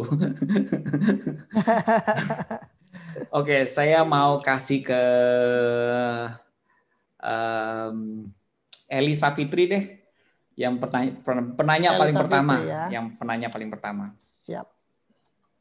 Yang lain bagus-bagus juga ya, maaf ya kalau nggak terpilih. Betul, kualitasnya bagus-bagus semua ya. Baik, kayak sih, uh, saya persilakan untuk memberikan closing statementnya agar uh, seluruh peserta pada siang hari ini semakin mantap. Iya. Oke, um, paling saya ingin mengatakan seperti ini. Ya, tidak ada yang kebetulan. Kita bisa hadir di sini sama-sama mendengarkan apa yang saya sampaikan. Saya percaya itu adalah sebuah pesan yang baik buat kita semua. Bahkan setiap kali saya menyampaikan sesuatu, saya pun kembali belajar dan diingatkan bahwa tanah air dan lingkungan kita itu sebenarnya bukan pilihan kita. Ingat itu ya, Tuhan yang pilihkan kita berada di sini. Buat saya, keluarga itu Tuhan pilihkan untuk bertumbuh, tanah air Tuhan pilihkan untuk berkontribusi. Jadi, kalau kamu menyadari betul bahwa kamu adalah bagian dari tanah air ini, bangsa ini, bahkan sosial media di Indonesia, jadilah agent of change mau terliterasi dan mau juga meliterasi. Sehingga mencerdaskan kehidupan bangsa adalah panggilan kita bersama. Kita pasti akan bisa eh, menikmati lagi kehidupan dalam berbangsa ini jika kita semua mendapati eh, bangsa kita semakin cerdas. Amin. Oke, okay, Wildan, kamu masih mute. Baik. Terima kasih banyak. Oke, Kak Yosi. Baik, kita berikan tepuk tangan virtual nih yang paling meriah kepada Kak Yosi. Terima kasih semuanya. Luar biasa sekali, Kak Yosi. Terima kasih banyak. Terima kasih. Baik, kepada muspener semuanya nih yang hari ini sudah ada di sini. Uh, setelah ini kita akan bertemu juga dengan seorang narasumber yang tidak kalah luar biasanya nih ya. Ada Bapak Ari. Bapak Ari sudah bersiap nih Bapak Ari? Siap, Mas Wildan. Oke, Pak Ari. Kalau begitu Pak Ari juga akan saya siapkan paparannya. Kalau begitu Pak Ari, monggo langsung saja saya persilahkan. Baik. Terima kasih Mas Wildan. Salam kenal Bang Yosi. Paparannya sangat komprehensif. Ya, saya berpikir bahwa karena webinar-webinar yang biasa saya ikuti, biasanya tanya jawab itu di akhir setelah semua narasumber menyampaikan paparannya. Tapi ini ternyata uh, begitu paparan langsung tanya jawab. Uh, sementara apa yang sudah disampaikan oleh Bang Yosi sebenarnya sudah sangat komprehensif ya terkait dengan uh, perhatikan jejak digitalmu ya dan data-datanya juga sangat akurat dan luar biasa saya kira. Ya. Saya menyampaikan beberapa hal yang berkaitan dengan apa yang sudah disampaikan oleh Bang Yosi tadi, bahwa saat ini semua pihak betul sekali bertanggung jawab atas lahirnya informasi yang ada di media sosial, yang ada di media digital. Apakah kemudian informasi itu hoax atau sebaliknya? Karena tidak ada alasan bagi siapa pun bahwa ah Bapak dosen, pasti Bapak tidak menyebarkan hoax.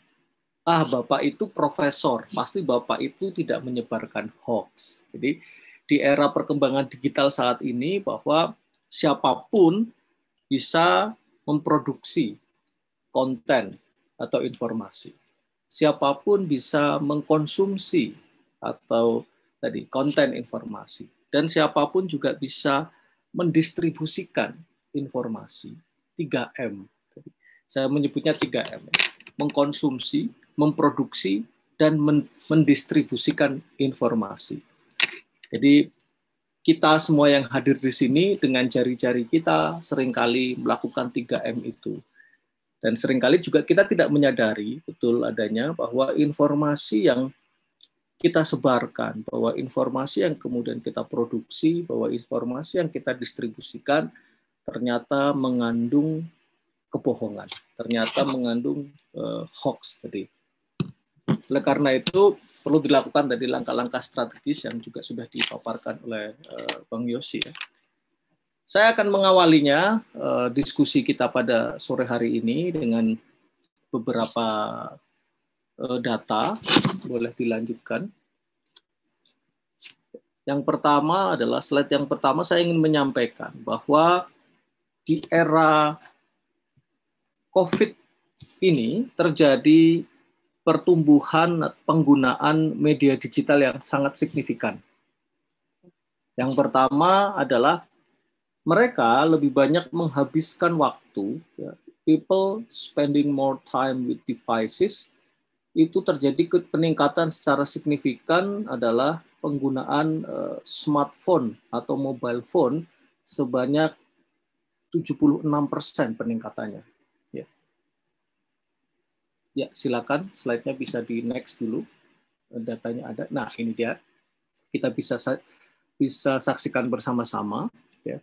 Kemudian terjadi peningkatan penggunaan eh, laptop atau komputer itu sebanyak 45 persen, penggunaan tablet sebanyak 22 persen, penggunaan smart TV or media streaming device itu 34 persen, kemudian penggunaan uh, apa games ya itu 70 17 persen maksud saya. Kemudian ada smart speaker itu 11 persen ada smartwatch 6,3 persen.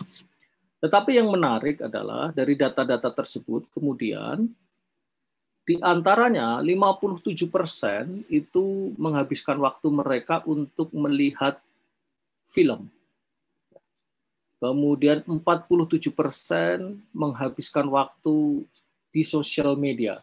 Nah ini tadi bicara tentang sosial media. Apakah kita bagian dari yang memproduksi, mengkonsumsi, ataupun mendistribusikan informasi tadi. Kemudian lebih banyak lagi juga 46 persen terjadi peningkatan, banyak orang menghabiskan waktu di messenger services. Artinya bahwa WhatsApp menjadi bagian di dalamnya peningkatan-peningkatan penggunaan eh, media digital ini di masa pandemi tentunya menimbulkan eh, dua persoalan, baik persoalan yang negatif ataupun persoalan yang positif. Ya. Di mana saya lanjutkan, ya, ini penggunaan mobile apps itu meningkat 36 persen, kemudian main games meningkat 35 persen dan lain sebagainya. Ya yang menarik adalah tadi di dalam di masa pandemi ini ternyata terjadi peningkatan yang luar biasa. Ada 251 persen ya, traffic e-commerce itu mengalami peningkatan yang signifikan. terutama untuk supermarket.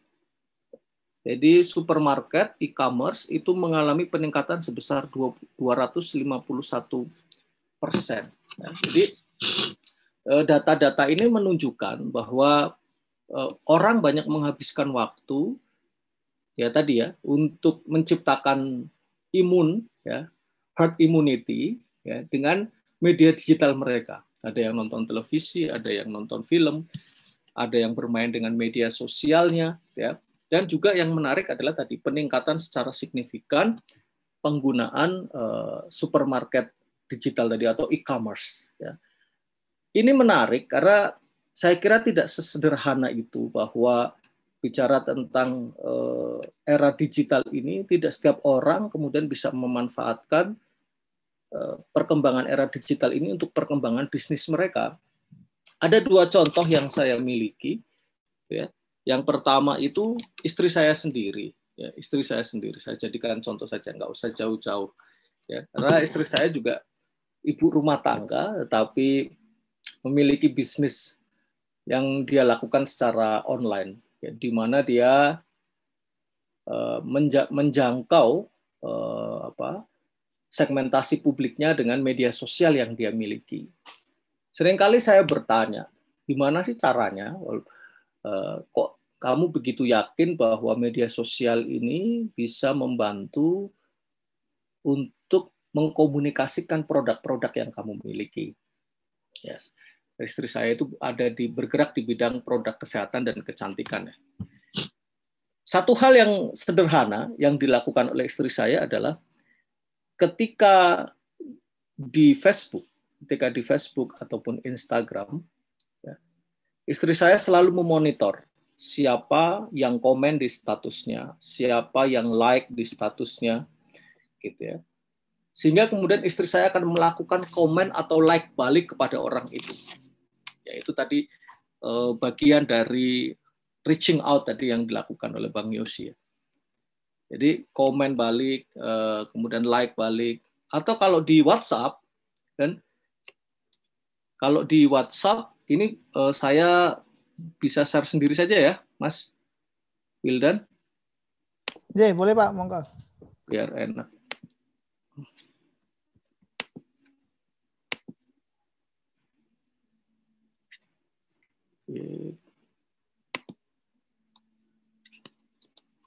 Oke, kelihatan ya?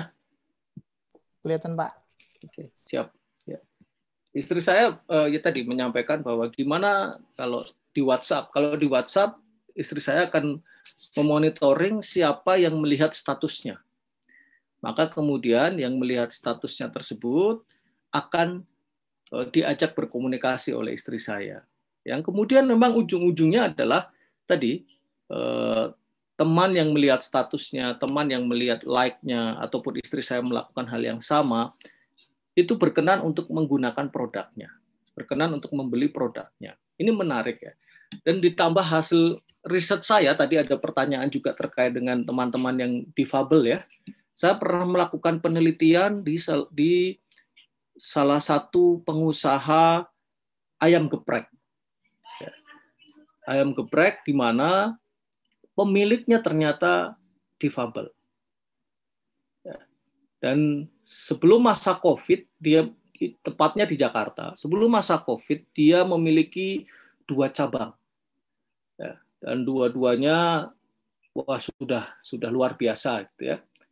Tetapi kemudian ketika memasuki masa Covid eh, dia mulai mengatur strategi karena dia berkeinginan tidak ingin memecat karyawannya. Nah, strategi dari dulu yang dia lakukan adalah ketika ada tamu yang hadir, ketika ada pembeli yang hadir, itu dia mintain nomor handphonenya. Kemudian setelah tamunya pulang, dia hubungi via WA. Mas, Mbak, Pak, Bu, bagaimana makanan di tempat saya? Kurang apa ya? Lalu pembelinya jawab, oh ya enak, ayamnya kurang ini, sambelnya kurang ini. Gitu ya. Bahkan kemudian terjalin hubungan yang sifatnya sangat personal menggunakan media digital tadi, melalui WhatsApp tadi kadang kalau pem, pem, uh, seorang pembeli itu mau datang ke tokonya, dia WhatsApp dulu, Mbak, saya mau datang nih, siapin dulu ya sambelnya, saya butuh sambel yang kayak gini, kayak gini, kayak gini. Ya, itu bagian dari bagaimana dia menjangkau publik dia. Itu bagian dari bagaimana strategi komunikasi yang dia lakukan dengan menggunakan perkembangan media saat ini. Ya. Karena memang pada prinsipnya bicara tentang media digital, maka kita akan melihat lima hal. Ya. Bahwa ada perubahan pola interaksi antara eh, pengguna media sosial yang satu dengan yang lainnya. Ada perubahan perilaku pencarian informasi. Nah ini tadi, kita punya problematika pada persoalan literasi eh, informasi atau literasi digital. Sekarang trennya adalah literasi digital.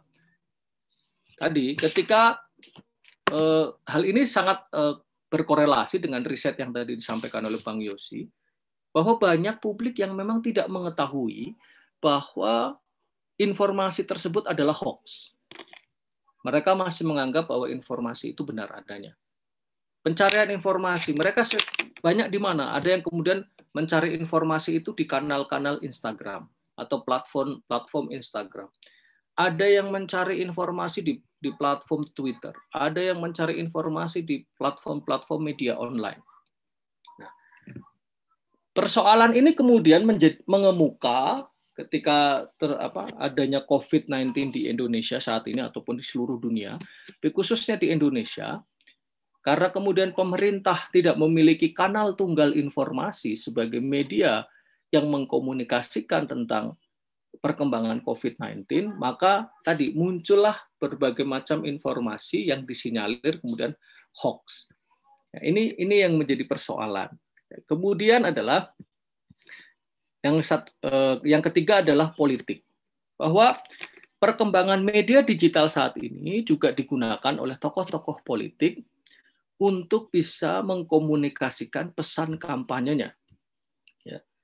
Joe Biden ya saat ini dia diduga ya diduga. Kenapa saya mengatakan diduga karena memang belum ada eh, apa keputusan yang sah gitu ya bahwa Joe Biden lah yang memenangkan pemilu di Amerika. Ya, dari data yang saya peroleh, dia menghabiskan uang sebesar eh, 13 ribu eh, apa miliar ya, 13 ribu US ya miliar untuk berkampanye melalui media digitalnya. Ya, bagaimana dia menjangkau kantong-kantongnya Trump. Siapa yang dia minta untuk berkampanye, pesan-pesan apa yang kemudian digaungkan, ini menarik. Karena seluruh media sosial, seluruh media di, digital yang digunakan oleh Joe Biden mengapungkan persoalan persatuan. Ya, bahwa Amerika saat ini membutuhkan persatuan. Ya, itu pesan itu kemudian muncul di ruang-ruang media digital yang dibangun oleh Joe Biden. Ya, ini politik menjadi salah satu eh, hal yang tidak bisa kita pisahkan pada ruang-ruang digital saat ini. Tetapi kemudian menjadi masalah adalah pada persoalan keamanan. Ini sering kali kita juga pernah mendapatkan bisa jadi SMS dari siapa yang kita nggak kenal, oh, Anda mendapatkan uang sejumlah 100 sekian juta, ini nomor ID Anda dan lain sebagainya. Ataupun ada juga yang tadi melakukan eh, apa peretasan terhadap akun-akun Anda. Ini era digital yang tidak bisa kita hindari bahwa ada persoalan keamanan juga dan tadi juga persoalan eh, perilaku. Nah, di dalam perkembangannya saya menyampaikan bahwa ada dua perspektif yang bisa saja kita harus melihat bahwa perkembangan era digital ini ada dua perspektif, yaitu perspektif utopia dan perspektif distopia. Ya. Di samping kita tadi sudah mendapatkan eh, data-data yang sangat komprehensif, di sini saya juga mengatakan bahwa banyak 86% pengguna internet jadi korban hoax ini diambil dari Center for International Government Governance Innovation. Ya. Bahwa ternyata ya perkembangan digital itu di samping juga bisa menciptakan partisipasi publik, menciptakan ruang-ruang diskusi publik. Tetapi justru ternyata perkembangan era digital itu juga merusak tatanan sosial. Ya. Mengancam kedaulatan sebuah negara. Ya. Kemudian mengancam privasi seseorang. Nah, ini hati-hati. Teman-teman, ketika chat di WA belum tentu aman. Ya. Kemudian eh, baru-baru ini kita digegerkan dengan sebuah video yang berdurasi 19 detik. Ya. Itu persoalan privasi juga di yang menjadi persoalan. Kedaulatan, ya fenomena di Indonesia dengan eh, apa hoax dengan informasi bohong ternyata mengancam kedaulatan NKRI. Ya. Ada Eh, organ-organ tertentu yang berusaha untuk menciptakan uh, apa ya keceosan ya uh, di Indonesia gitu ya. Ada juga kanal-kanal tertentu yang mencoba untuk memberikan hasutan-hasutan bahwa kalau Jokowi menang maka pendidikan agama dihapuskan ya kalau Jokowi menang, maka ulama akan dikriminalisasi. Nah, ini isu-isu seperti ini yang kemudian eh, apa ya mengancam kedaulatan negara kita. Ya. Ditambah juga merusak tatanan sosial. Kenapa saya mengatakan merusak tatanan sosial? Karena tidak sedikit masyarakat kita yang belajar di media sosial atau yang menggunakan atau yang melihat media sosial sebagai sarana pembelajaran jadi setiap informasi, setiap perilaku yang muncul di media sosial itu mereka yakini benar. Itu mereka eh, mereka apa ya namanya? Mereka ikuti gitu ya. Wah, ini begini. Ya, benar. Oh, ini begini. Ya, saya ikut. Nah, ini jadi kemudian tadi media sosial sebagai sarana pembelajaran eh, sosial ini juga mengancam persoalan kita. Ya, karena tadi setiap informasi yang yang berkembang di media sosial tidak sepenuhnya kemudian mampu menciptakan perdamaian, mampu menciptakan partisipasi publik yang positif. Ya, misalkan dalam konteks COVID lagi ya, kita bicara tentang COVID. COVID. Bagaimana kita memiliki bahwa negara kita memiliki konsep atau identitas gotong royong atau kalau teman-teman di Jawa Barat menyebutnya sabi lulungan. Gitu ya. Nah, bagaimana yang idealnya konsep gotong royong, konsep partisipasi, konsep sabi lulung, sabi lulungan ini yang bisa kita gaungkan untuk bisa mengatasi eh, COVID-19 di Indonesia. Dengan cara, yuk kita mulai peduli satu sama lain. Bagaimana bentuk kepedulian kita? Yuk, mari kita menggunakan masker jika kita ada di tempat-tempat umum, gitu ya. Yuk kita mulai jaga jarak. Yuk kita mulai eh, apa namanya menggunakan eh, mencuci sabun setiap saat, mencuci tangan menggunakan sabun setiap saat.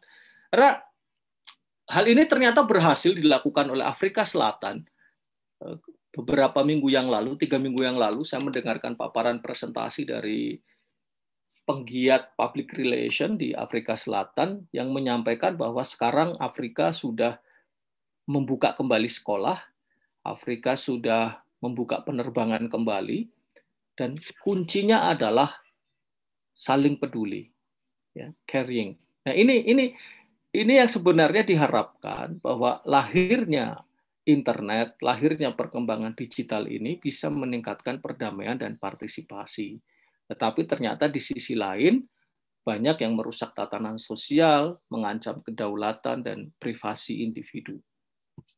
Nah, apalagi fenomenanya di Indonesia ini tadi muncul yang disebut dengan bubble effect. Tadi eh, ada keyword ya, keyword-keyword tertentu yang menyebabkan individu hanya mengkonsumsi konten yang sesuai dengan kebutuhan, bahkan ideologinya. Hal inilah yang kemudian menciptakan polarisasi ya kutub-kutub di publik-publik kita.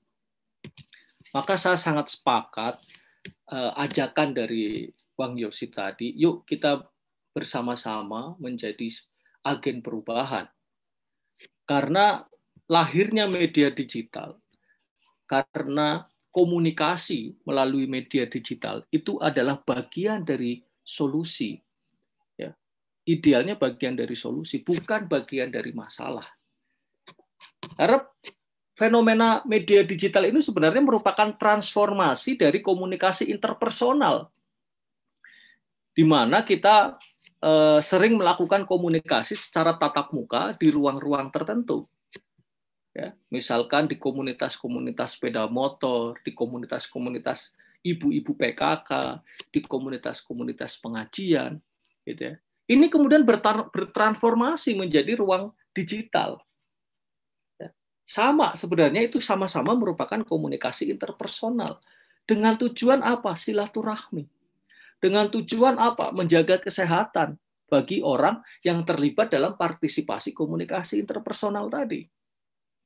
Ya.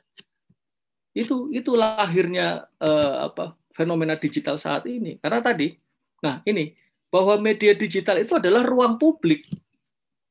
Yang tadi saya bilang, ini transformasi dari komunitas-komunitas tadi. Ibu-ibu PKK, komunitas pengajian, komunitas-komunitas motor, misalkan ataupun komunitas penggiat-penggiat sosial lainnya. Ya. Karena apa? Di dalam media sosial akan melahirkan interaksi. Hanya interaksinya terjadi secara maya. Karena terjadi di internet, karena terjadi di, di media sosial. Ya. Tetapi kemudian, meskipun terjadi di eh, internet atau terjadi secara maya, diskusi ini tetap bisa terjadi diskusi ini tetap bisa terjadi. Bahkan dari hal yang sifatnya sangat sederhana.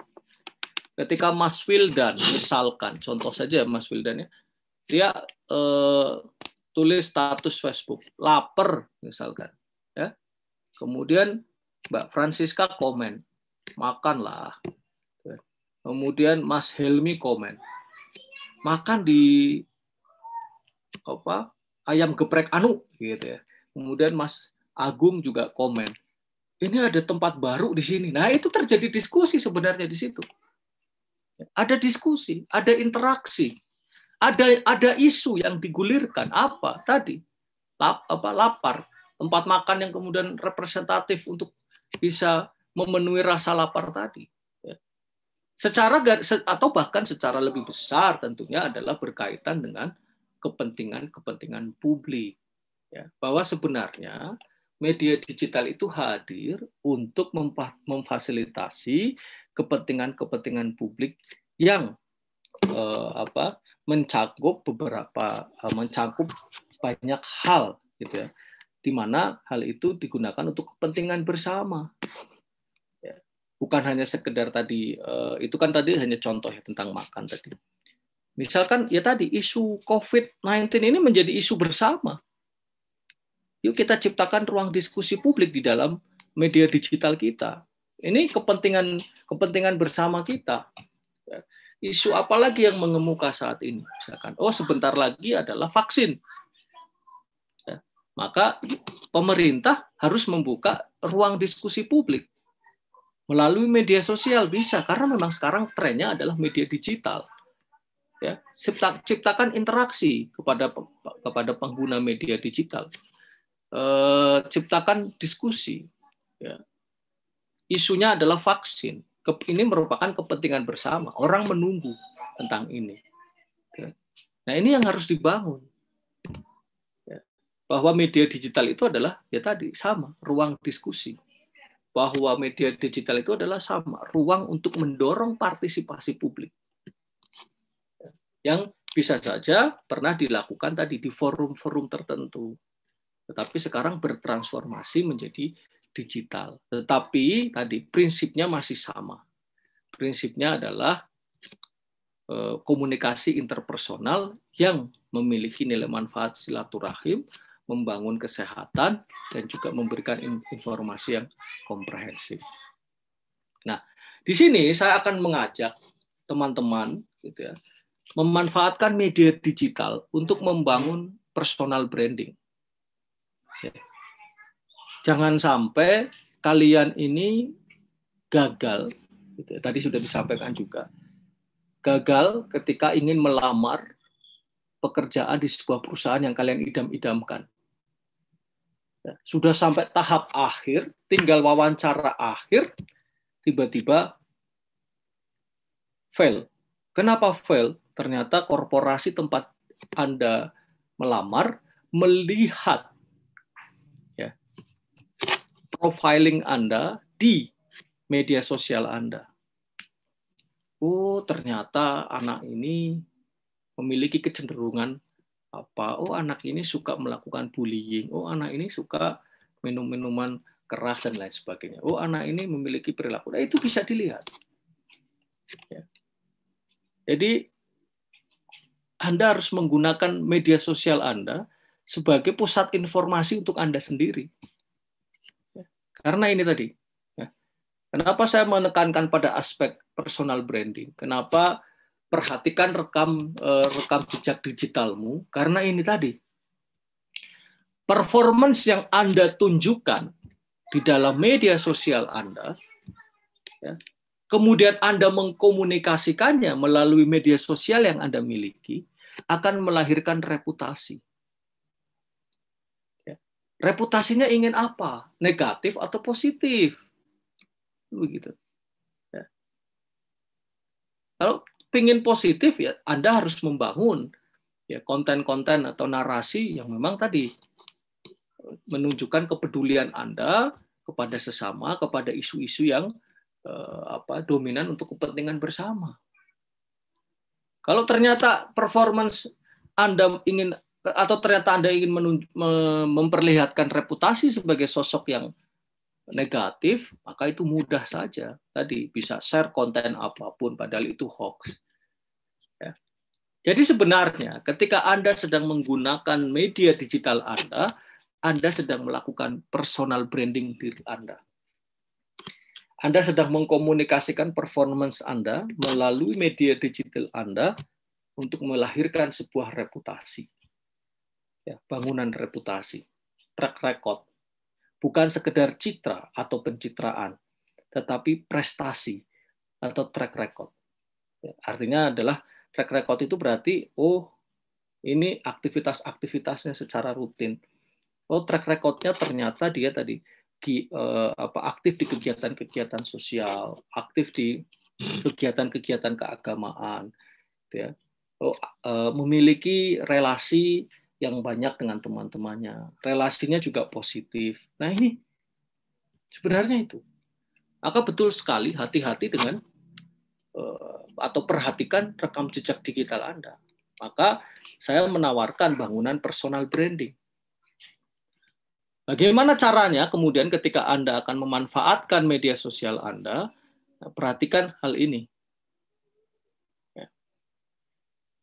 Ini saya ambilkan dari sebuah konsep eh, media sosial yang dimiliki oleh Regina Lutral yang disebut dengan some. Ya. Some.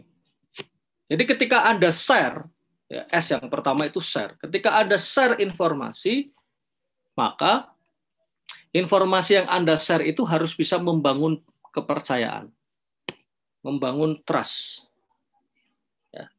Kalau sudah membangun trust, maka akan membangun relasi. Kalau akan membangun sudah membangun relasi, maka akan melibatkan atau akan membangun partisipasi publik. Bahkan tadi seperti yang saya sampaikan di awal, ada optimize. Ya. Ketika Anda bermain di sosial media, maka Anda harus siap dengan mendengar dan belajar dari publik. Terlibat aktif dalam percakapan di mana ini ada korelasinya dengan manage, media monitoring, quick response, dan real-time interaction. Bagi para pengguna media sosial pribadi, tampaknya terlibat aktif dalam percakapan itu tidak pernah menjadi persoalan. Ya. Real-time interaction, ya begitu ada yang komen, ingin segera cepat-cepat membalas komennya. Tapi bagi sebuah organisasi, ya real time interaction sama terlibat aktif dalam percakapan itu sangat sulit. Ada orang yang bertanya, jam 11 pagi atau jam 11 siang baru dijawab jam 4 sore atau baru dijawab malam dan lain sebagainya. Nah, ini ini yang menjadi problem. Kalau menyinggung tentang pemerintah, ini salah satu problem pemerintah juga. Ya. Real time interaction. Bagaimana harus melakukan media monitoring, quick response setiap percakapan yang ada di media sosial jadi ketika teman-teman atau Bapak Ibu adalah merupakan representasi dari organisasi, adalah representasi dari lembaga tertentu, dan ketika menggunakan media sosial atas nama lembaga, maka ter, harus terlibat aktif dalam percakapan. Maka harus melakukan quick response. Maka harus real time interaction. Karena itu Eh, sangat penting untuk membangun relasi, yaitu yang kelima, engage, eh, keempat maaf, engage. Nah, bagaimana kalian akan membangun influence relation, di mana siapa publik kita, bagaimana menjangkaunya. Kenapa? Karena publik kita ini tadi bisa kita gunakan sebagai komunikator kita. Ini dan bisa jadi tidak perlu membayar, ya tapi gratis. Kenapa? Karena sudah ada tadi bangunan kepercayaan, bangunan relasi, ya. kemudian tadi ya ter, terlibat percakapan aktif. Itu yang kemudian membuat seseorang uh, akan ber, uh, bersedia untuk menjadi komunikator perusahaan Anda atau organisasi Anda. Maka dari itu, ketika Anda menggunakan media sosial, eh, saya berharap Ah, ini. Ini yang harus bisa Anda munculkan. Aras 1, 2, 3, 11 ya. 11 elemen ini adalah bangunan personal branding Anda di media digital. Bangunan personal branding Anda di media sosial. Keaslian Anda, konsistensi, integritas, spesialisasinya apa, ya, berwibawa, performance Anda dalam bekerja, kekhasan atau keunikan Anda, kegigihan Anda, kebaikan Anda, ya, visibilitas Anda, dan relevan. Ini akan mencerminkan bagaimana reputasi Anda di media sosial. Jadi ketika bicara tentang eh, apa rekam jejak atau perhatikan rekam jejak digitalmu, saya menawarkan atau Ramperzat menawarkan 11 ya indikator untuk bisa membangun personal branding di media digital Anda. Ya. Terakhir, saya akan menampilkan sebuah video. Video ini saya dapatkan dari mahasiswa saya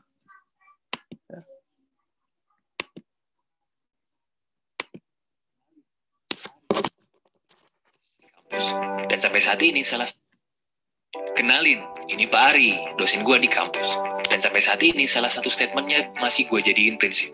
Jadi waktu itu ketika kelas umas politik, beliau pernah bilang, harusnya kita itu posting yang penting, bukan yang penting posting. Dan si isi kelas pun tertohok. Pakai Q, tertohok. Termasuk gue yang masih ada di golongan yang penting posting.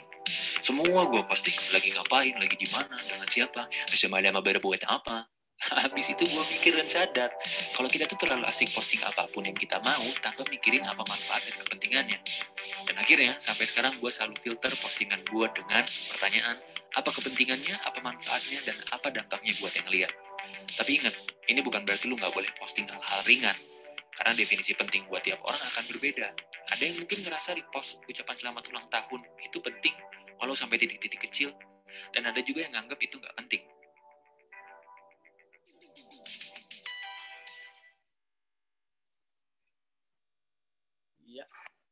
Jadi itu yang bisa saya sampaikan bahwa kita harus share yang penting-penting, bukan yang penting share. Terima kasih. Mudah-mudahan kita bisa lanjutkan dalam diskusi. Waktu dan tepat saya kembalikan ke Mas Wildan. Terima kasih banyak Pak Ari, luar biasa. Tadi uh, menohok sekali ya, pakai Q ya.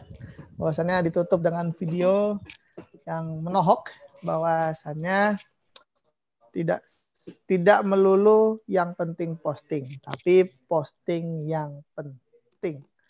Nah, Pak Ari, sudah ada beberapa pertanyaan yang saya kumpulkan nih ya Pak Ari ya. Yang pertama langsung saja saya bacakan ya Pak ya. Baik, Mas Wildan. Nah, ini ada baik. Ini ada dari Andi, Universitas Sumsel ya. Uh, gimana ya kita bisa mengetahui jejak digital kita yang sudah lama banget masih ada? karena pernah ada teman ngalamin kejadian seperti ini dan ternyata menemukan foto-foto lamanya dijadikan bahan bullying atau body shaming gitu Pak Ali. Ini mungkin masih nyambung dengan materi bullying yang tadi nih Pak Ali. Ya, Mas Mas Andi ya dari Universitas Sumatera Selatan ya. Bagaimana cara mengetahui iya. jejak digital masih ada? Ya, Ya, inilah yang sering kali kita tidak pernah sadari ya, tidak pernah sadari uh, bahwa kita ternyata pernah upload sesuatu gitu ya, bahwa kita ternyata pernah uh, ya menyampaikan foto kita atau upload tadi upload atau posting foto kita atau informasi di media sosial kita. Nah, tentunya hal itu ter, sudah terekod ya, sudah terekod di media sosial kita sendiri. Ya. Bagaimana cara mengetahuinya? Ya mau tidak mau harus mengecek eh, ke laman sosial media kita, gitu ya, untuk kita bisa mengetahui apa, apa yang sudah kita uh, apa, upload sebelumnya. Dan sering kali juga kalau di fitur, kalau di Facebook itu kan ada fitur ini memori ya, itu sangat sangat membantu kita juga mengingatkan kita apa yang sudah pernah kita lakukan. Dan ada beberapa hal yang saya juga belajar dari Facebook ya. Artinya belajar begini bahwa oh ternyata saya pernah share konten yang menurut saya itu tidak relevan gitu ya. Eh, analisanya kurang jelas gitu ya, atau kurang tajam gitu ya. Tetapi saya sudah menyampaikan itu ke ruang publik. Nah, ini ini yang juga harus menjadi perhatian. Maka dari itu kita harus mampu menjaga diri tadi sebelum kita memproduksi ataupun mendistribusikan informasi. Kalau ternyata memang tadi sudah terlanjur bahwa ada rekam jejak digital kita yang tidak begitu positif untuk kita, maka silakan ditelusuri dari sekarang untuk bisa ya tadi eh, menghapus ya yang sudah kalian upload. Tetapi kalau sudah susah untuk dijangkau, apalagi sudah bertahun-tahun, nah itu yang menjadi persoalan.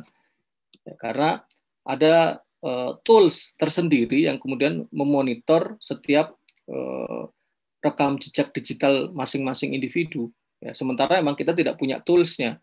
Biasanya tools itu hanya dimiliki oleh lembaga-lembaga tertentu. Salah satunya adalah uh, BIN ya, Badan Intelijen ya, ataupun tadi korporasi-korporasi besar yang ingin betul-betul menyeleksi calon karyawannya dari berbagai macam latar belakang, termasuk dari eh, profiling di media sosial. Jadi Mas Andi ya mungkin harus lebih eh, bisa menahan diri apa tidak lagi memposting sesuatu yang tadi ya belum tentu kebenarannya ataupun tadi ternyata analisis analisisnya belum tajam, belum akurat ya ataupun Eh, menyampaikan sesuatu yang cenderung hoax gitu ya. Begitu ya Mas Wildan. Baik Pak Ari, terima kasih banyak. Baik, lalu ada masih pertanyaan seputar jejak digital nih Pak dari hmm. Lilis SMK Pasuruan 2 nih kayaknya ya.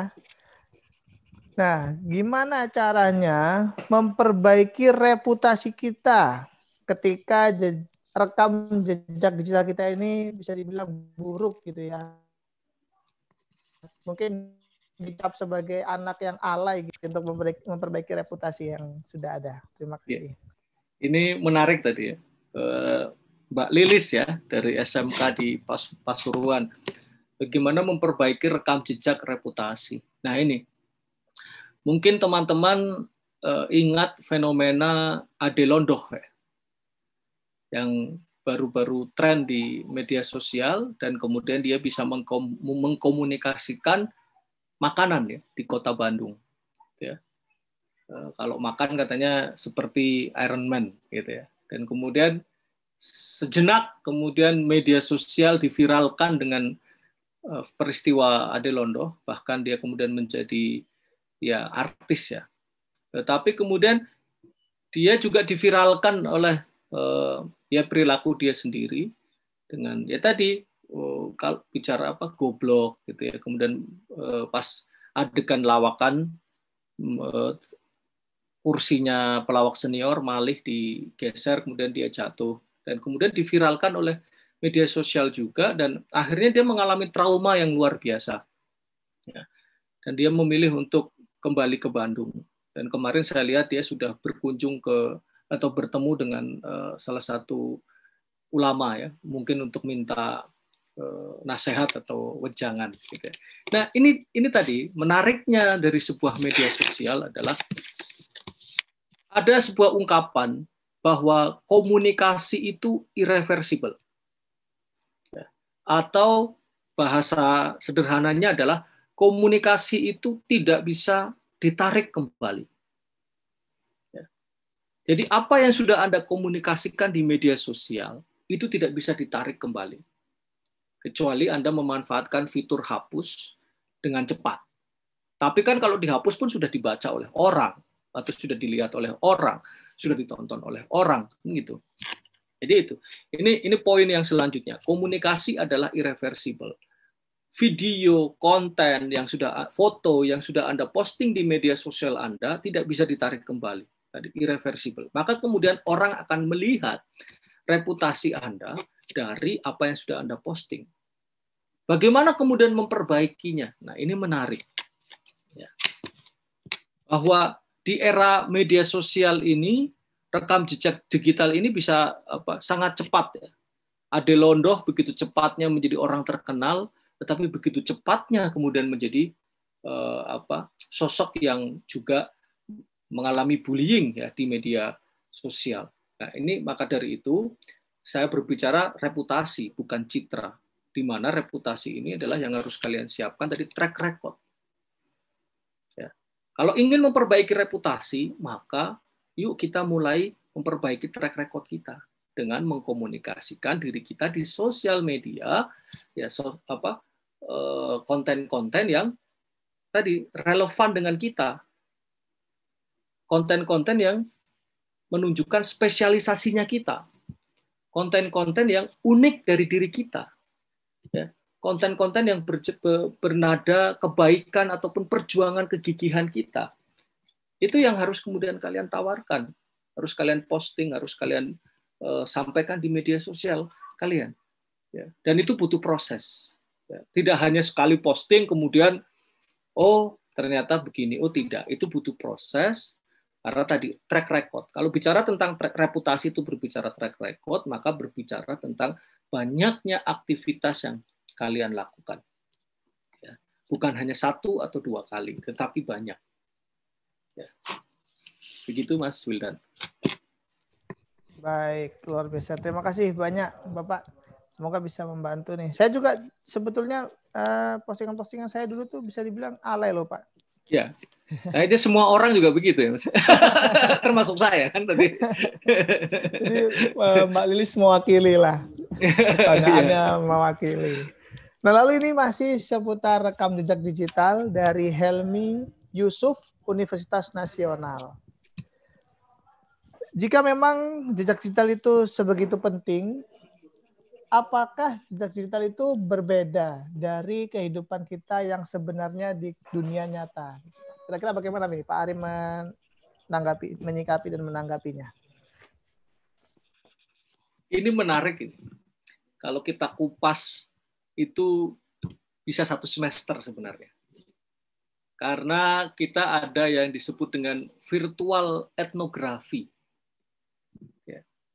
Bahwa ya kita kita bisa mengupasnya dengan virtual etnografi. Ketika kita akan membangun uh, sebuah riset di media sosial, di mana apa sih virtual uh, apa etnografi tadi?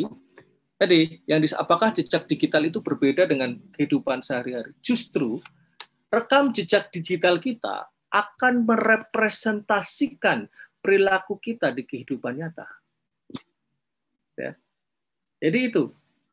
Tapi tadi ini harus butuh butuh waktu untuk melakukan penelitian. Apakah Hel, Mas Helmi tadi dari Universitas Nasional perilakunya di media sosial itu sama dengan perilakunya di kehidupan nyata. Tapi secara aspek tadi eh, metodologis bahwa betul sekali bahwa kehidupan di media sosial itu merepresentasikan perilaku sehari-hari. Gitu. Ini yang maka dari itu harus menjadi kita eh, waspada dengan aktivitas kita di media sosial.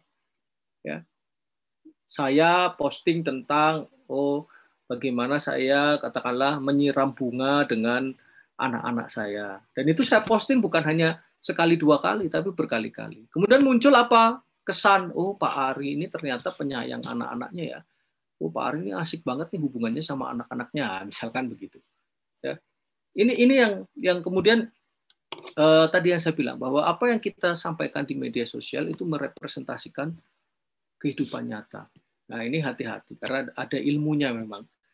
Jadi, ya. Jadi eh, perilaku kita di media sosial itu mencerminkan perilaku kita di kehidupan nyata. Atau dengan kata lain tidak berbeda jauh perilaku kita di media sosial dengan perilaku kita di dunia nyata. Maka dari itu eh, apa? Ini sama dengan eh, teori-teori komunikasi massa di mana sinetron-sinetron yang muncul, sinetron yang kita tonton di media massa tersebut itu merepresentasikan kehidupan nyata. Ya, ada persoalan tahta, harta, dan raisa, kan gitu ya?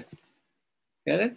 Itu itu kan yang ya pertunjukan itu yang sering kita tonton dan itu memang itu yang yang yang kita hadapi di dunia nyata kan seperti itu. Sama halnya dengan media sosial tadi. Apa yang kita upload, apa yang kita posting itu sesungguhnya merepresentasikan diri kita di kehidupan sehari-hari. Jadi lebih waspada dengan jari kita. Terima kasih Mas Wildan.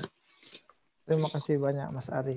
Pak Ari, saya jadi ikutan Mas Ari. Saya lebih suka dipanggil Mas. Oke. Baik, uh, Mas Ari deh saya panggil Mas Ari deh. Siap, siap. Uh, Mas Ari ini masih menyambung soal jejak digital dan juga reputasi ya. Ini ada mantan mahasiswanya juga nih, Mas namanya Indra nih, 2012 sudah. nah ini bertanya ketika memang akhirnya rekam jejak digital itu dibaca oleh HRD ketika kita melamar pekerjaan. Nah sebagai orang yang memiliki rekam jejak atau reputasi buruk tadi, ada cara pembelaannya nggak Pak? ketika interview sama HRD-nya. Apakah uh, ini? Apakah right to be forgotten berdasarkan undang undang itu berlaku di Indonesia? Nah, katanya sih ini pertanyaannya menarik nih. Ini Mas Indra 2012 yang mana ya, Mas Wildan? Ya? Yang temannya Dwiki, Pak. Oh, iya iya iya iya iya. Ya. Mas Indra, uh, ya kita berjumpa kembali di ruang virtual ya. Ini tadi eh, sekaligus saya izin promosi sebentar ya. Ada mahasiswa Vkom yang katanya dapat golden ticket di Indonesian Idol katanya. Ya, karena ini kan banyak alumni di sini, jadi eh. saya sampaikan aja sekalian. Luar biasa. bangga. Ya, eh, bahwa ini ada dua hal, ada dua hal yang memang bisa terjadi ada sebuah peristiwa, ya, saya sampaikan ada sebuah peristiwa eh, mahasiswi tersebut ya sudah sudah tidak lagi mahasiswi ya, sudah lulus, kemudian dia melamar di sebuah korporasi ternama, itu hampir semua orang kayaknya pingin kerja di situ, gitu ya. karena ya persoalan reputasi organisasinya, persoalan salary yang didapatkannya, gitu ya karena ting uh, salary-nya besar gitu ya. Tetapi kemudian uh, proses rekrutmennya juga melalui proses yang sangat panjang. Ya. Salah satu yang kemudian dilakukan oleh perusahaan tersebut adalah melihat rekam jejak digital calon pekerja tersebut. Ya. Di sini pada saat tahap akhir tahap akhir tinggal diumumkan bahwa peserta-peserta tersebut lolos atau tidak, lolos atau tidak. Ya. Artinya bahwa tidak pernah diketahui HRD ataupun korporasi tersebut melakukan proses cek profiling di media sosial kita. Ternyata ya mahasiswa alumni tersebut ya bukan alumni Unpad maksudnya mahasiswa tersebut uh, sudah pede bahwa dia bisa diterima. Uh, ternyata pada saat pengumuman dia tidak diterima. Apa penyebabnya? Ternyata penyebabnya adalah ada di media digitalnya. Jadi di media digital itu dia memberi minum kucing dengan menggunakan wine. Anggur. Ini mengerikan ya hanya ya tadi per, kesannya persoalannya sepele tapi itulah rekam jejak digital ya kalau kita kalau istilah netizen atau istilah plus 62 adalah eh, rekam jejak digital itu jahat katanya gitu ya. ya. Akhirnya dia nggak lolos, dia tidak diterima. Kenapa tadi? Nggak ada istilah bahwa eh, dia bisa konfirmasi kepada HRD-nya atau korporasinya. Karena sering kali tadi bahwa profiling itu juga dilakukan di tahap-tahap akhir. Lalu bagaimana jika ternyata diberikan kesempatan pada saat wawancara ditanya seputar aktivitas media sosialnya? Maka saya sarankan ketika ternyata aktivitas sosial media sosial Anda itu salah, jangan ragu untuk meminta maaf minta maaf saja, mengakui bahwa memang aktivitas media sosialnya salah. Kalau ditanya alasannya, ya baru dijawab alasannya apa. Gitu. Tapi tadi eh, tidak semua eh, korporasi melakukan hal tersebut. Yang ada malah tadi melakukan profiling di saat-saat akhir. Jadi tidak tidak melakukan konfirmasi kepada kita, langsung saja. Gitu ya. Begitu ya, Mas Indra ya.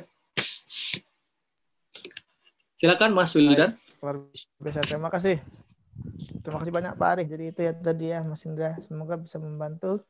Oke, uh, karena memang waktu juga ini saya tidak bisa membacakan semua pertanyaan. Ini masih ada dua lagi pertanyaan ya Pak Ari ya, nggak apa-apa ya. Siap, siap, siap Mas. Pertanyaan pertama ini pertanyaan yang pertama ini dari dua orang yang berbeda, tapi intinya sama. Jadi ada Teguh Kristianto dari Politeknik Negeri Sriwijaya dan juga Fikri Aulia Madani dari Universitas Muhammadiyah Yogyakarta. Nah, apabila rekam jejak digital dapat membahayakan pribadi, terlebih tentang reputasi yang bisa jatuh, bagaimana dengan potensi bahayanya jejak digital yang dimanfaatkan oleh perusahaan-perusahaan besar seperti memberikan iklan yang sesuai dengan daerah tempat tinggal kita. Nah, apakah data-data digital kami sebagai individu itu bisa dibilang aman atau tidak? Terima kasih. Ya, ini saya jawab Mas Teguh dengan Mas Fikri ya. Ini pertanyaan menarik, itu bagian dari persoalan keamanan ya atau privacy kita sebagai pengguna media sosial. Ya. Hanya memang kita mengenal istilahnya selebgram, ya. uh, ataupun kita ya mengenal uh, apa konten-konten kreator di media sosial yang memiliki follower yang banyak, yang kemudian uh, dijadikan sebagai ya tadi ya komunikator ataupun dijadikan sebagai media iklan dari eh, perusahaan-perusahaan tertentu. Walaupun sebenarnya di fitur-fitur media sosial yang ada itu ada fitur-fitur bisnis ya. Artinya bahwa kita dimungkinkan untuk melakukan iklan ya, dengan target-target tertentu dengan pembayaran juga tertentu karena saya pernah juga melakukan iklan gitu ya membayar di Instagram dan Facebook karena itu apa namanya satu jaringan ya ibaratnya itu satu harinya satu eh, maaf satu minggunya itu bayarnya murah satu setengah juta ya, itu untuk beriklan di sana dengan konten-konten tertentu. Dan kita bisa memilih eh, kita akan ingin menjangkau apa target audiens yang seperti apa. Itu bisa ya. Artinya tadi kita bicara eh, konten bisnis tapi pada persoalan kemudian taktik komunikasi gitu ya. Karena kita mengenal yang disebut dengan strategi dan taktik komunikasi.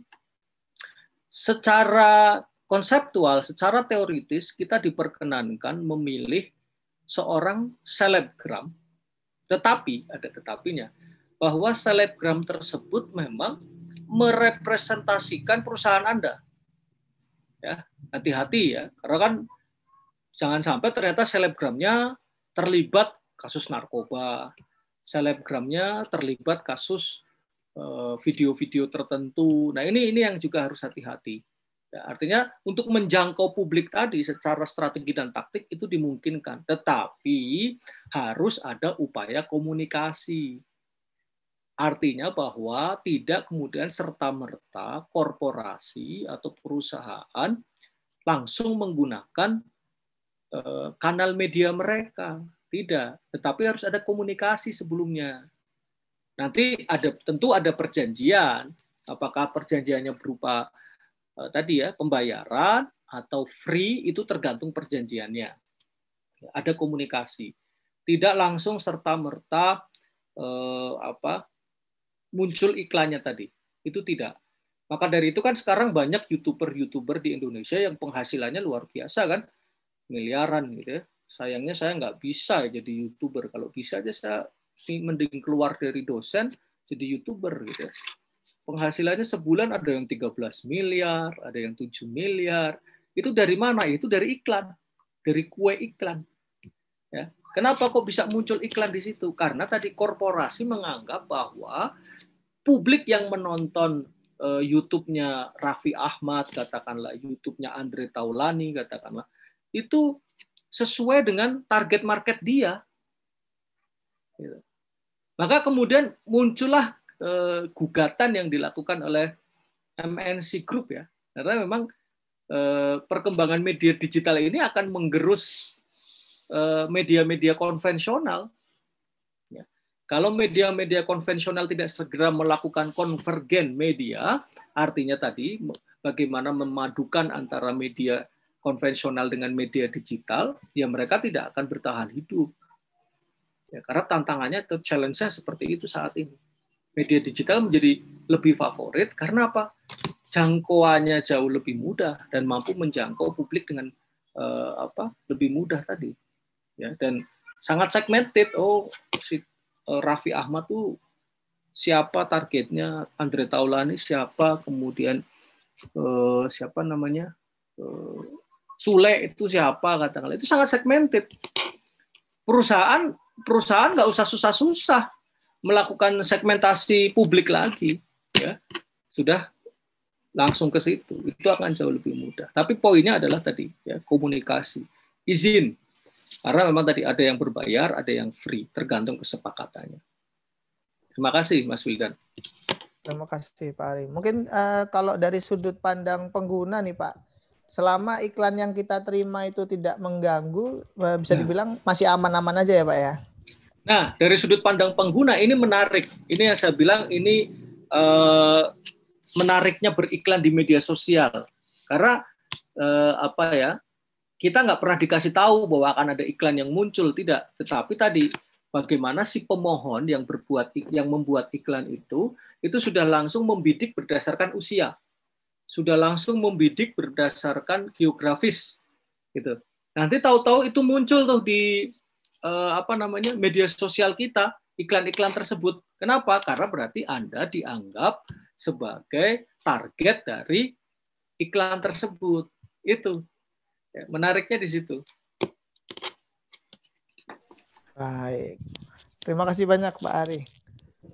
Untuk Sama -sama. pertanyaan terakhir nih ya Pak ya. Ya. Ini ada dari Tia, SMAN 13 Jakarta. Pak, mohon maaf ingin bertanya. Saya ini masih kelas 2 SMA. Jujur saya akhir-akhir ini sering uh, apa ya berpikir gitu ya. Apakah saya harus berhenti bermain media sosial karena lebih banyak muzorotnya ya atau toksik kata dia. Saya takutnya mempengaruhi mental saya. Tapi kalau tidak bermain media sosial juga pasti saya kurang informasi. Nah, kira-kira dari Pak Ari bagaimana nih untuk menanggapi hal ini? Ya, ini fenomena menarik ya, karena tadi juga sudah diungkapkan oleh Bang Yosi ya, terkait bagaimana media sosial itu mempengaruhi mental kita, gitu ya. Apakah eh, berhenti bermain media sosial itu sebuah solusi? Nah, begini, kalau saya memiliki pendekatan konflik itu harus dihadapi. Saya berpikir begitu ya termasuk konflik eh, ya tadi ya bagaimana konflik batin kita ketika kita menggunakan media sosial. Itu harus dihadapi bukan dihindari. Ya. kenapa? Karena setiap pertarungan setiap konflik itu adalah sebuah energi baru untuk kita. Setiap konflik itu setiap pertarungan itu adalah sebuah eh, apa energi positif untuk kita. Karena itu ada proses belajar yang harus kita lalui. Jadi ketika Mbak Tia memutuskan untuk istirahat dari media sosial itu tidak masalah. Istirahat ya, bukan berhenti. Ya. Istirahat. Ya. Istirahat di sini untuk apa? Ya tadi untuk melakukan kontemplasi. Selama ini saya bermain di media sosial itu untuk apa? Apakah untuk alay atau untuk bagian dari proses pembelajaran kita, dari proses belajar pendidikan, gitu ya? atau malah tadi eh, untuk membuli orang misalkan dan lain atau menyebarkan hoax. Nah, itu yang harus kemudian kita petakan.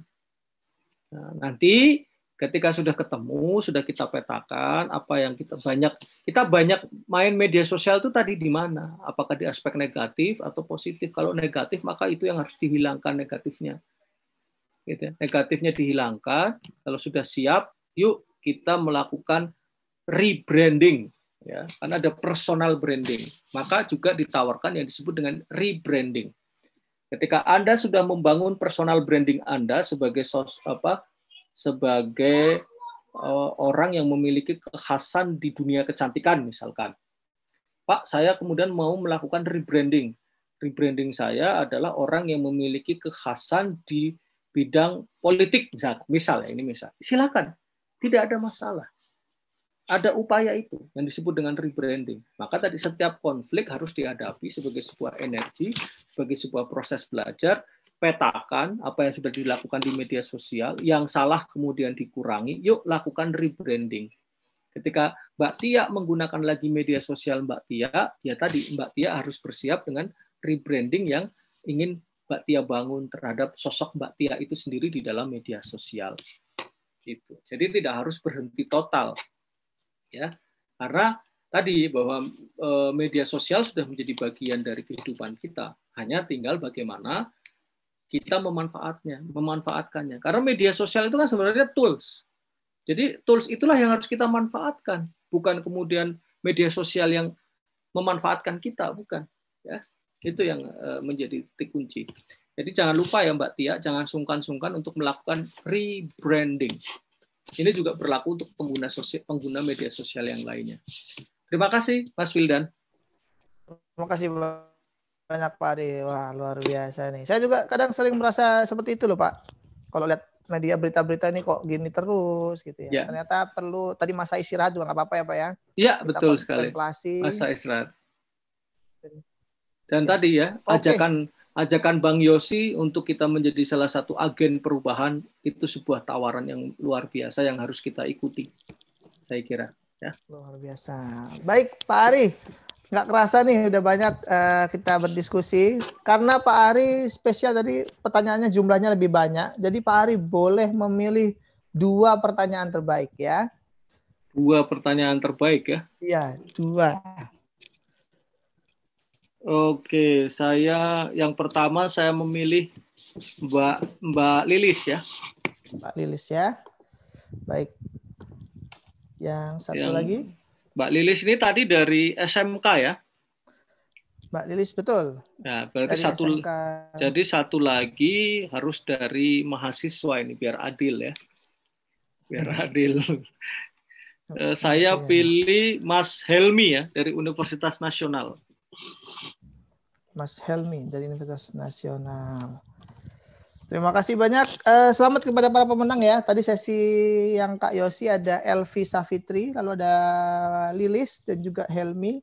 Mohon bisa mengirimkan pesan secara personal atau direct message DM ke Instagram Museum Penerangan.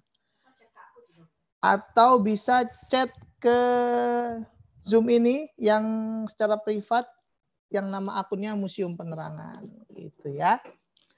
Baik, eh Pak Ari, ini kita mau bagi-bagi ini juga nih kayaknya voucher nih senilai 50.000. Wih, voucher. Oke. Saya saya Pak Ari masih bisa lama di sini atau mungkin ada kegiatan selanjutnya? Nggak ada, nggak ada. Nggak ada ya? Ya. Baik. Pak Ari mungkin saya minta tolong menemani ya Pak Ari ya. Nanti kalau ada ide pertanyaan, monggo Pak Ari. Boleh Pak Ari. Siap, siap, siap, Mas. Cara mengikuti sesi kali ini adalah dengan menggunakan fitur raise hand ya. Jadi di kolom partisipan itu nanti ada pilihan raise hand. Ketika pertanyaan selesai saya bacakan, maka yang raise hand paling pertama dan menjawab dengan benar mendapatkan voucher senilai Rp50.000. Oke, kita coba langsung ya pertanyaan per tolong ceritakan pengalaman eh, dibully atau membuli yang Muspender rasakan dan bagaimana teman-teman menemukan solusi atau menanggapi kejadian itu. Yuk, silakan yuk. Nih, teman-teman. Nah, sudah ada Andi Uus yang angkat tangan ya. Saya coba unmute ya, Mas Andi Uus.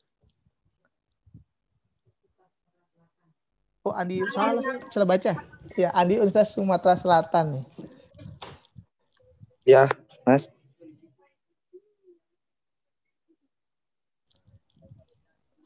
Halo, Mas Andi. Ya, halo.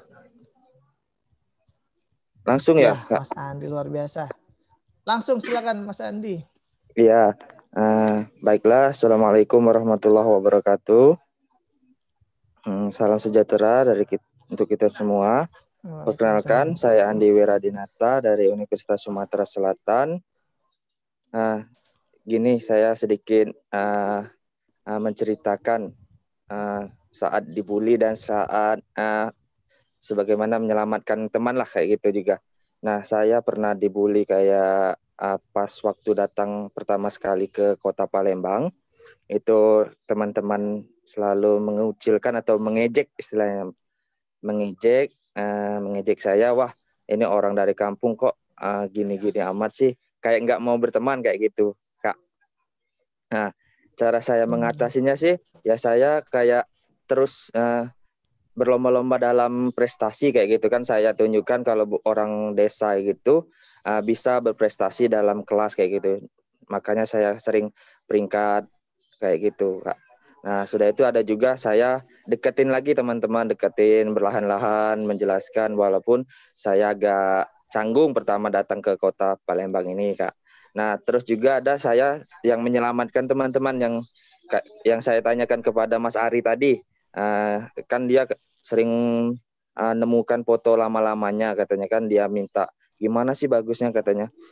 Uh, kata Andi kan ya coba aja katanya. Chat-chatan atau apa istilahnya hubungi yang sering membody kan itu katanya kan.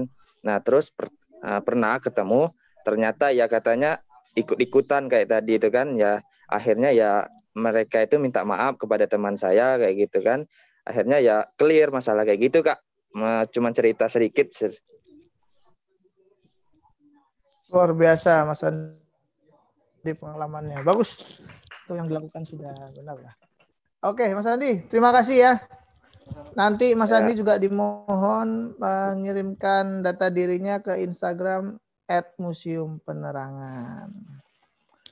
Nah uh, aku pengen undang si tadi ada MC kita dari Kak Siska mungkin juga bisa membantu memberikan kuis nih. Iya, Kak Wildan. Kita mau kuis, ada berapa kuis nih? Uh, kayaknya masih banyak nih persediaan hadiah kita. Betul. Betul. Oke. Okay. Ada uh, empat ya, ada empat pertanyaan yang bisa kita lemparkan ke teman-teman semua. Jadi siap-siap dengan raise hand-nya, tapi yang uh, yang jujur ya, supaya kita bisa memilih siapa yang tercepat setelah pertanyaan selesai dibacakan. Baik. Uh, pertanyaan pertama langsung aja ya. Oke. Okay. Uh, mungkin bisa disebutkan quotes dari masing-masing narasumber kita pada hari ini. Jadi dua quotes yang paling mengena di teman-teman. Oke, sudah ada uh, Fikri Aulia Madani. Akan saya undang, minta tolong dinyalakan videonya.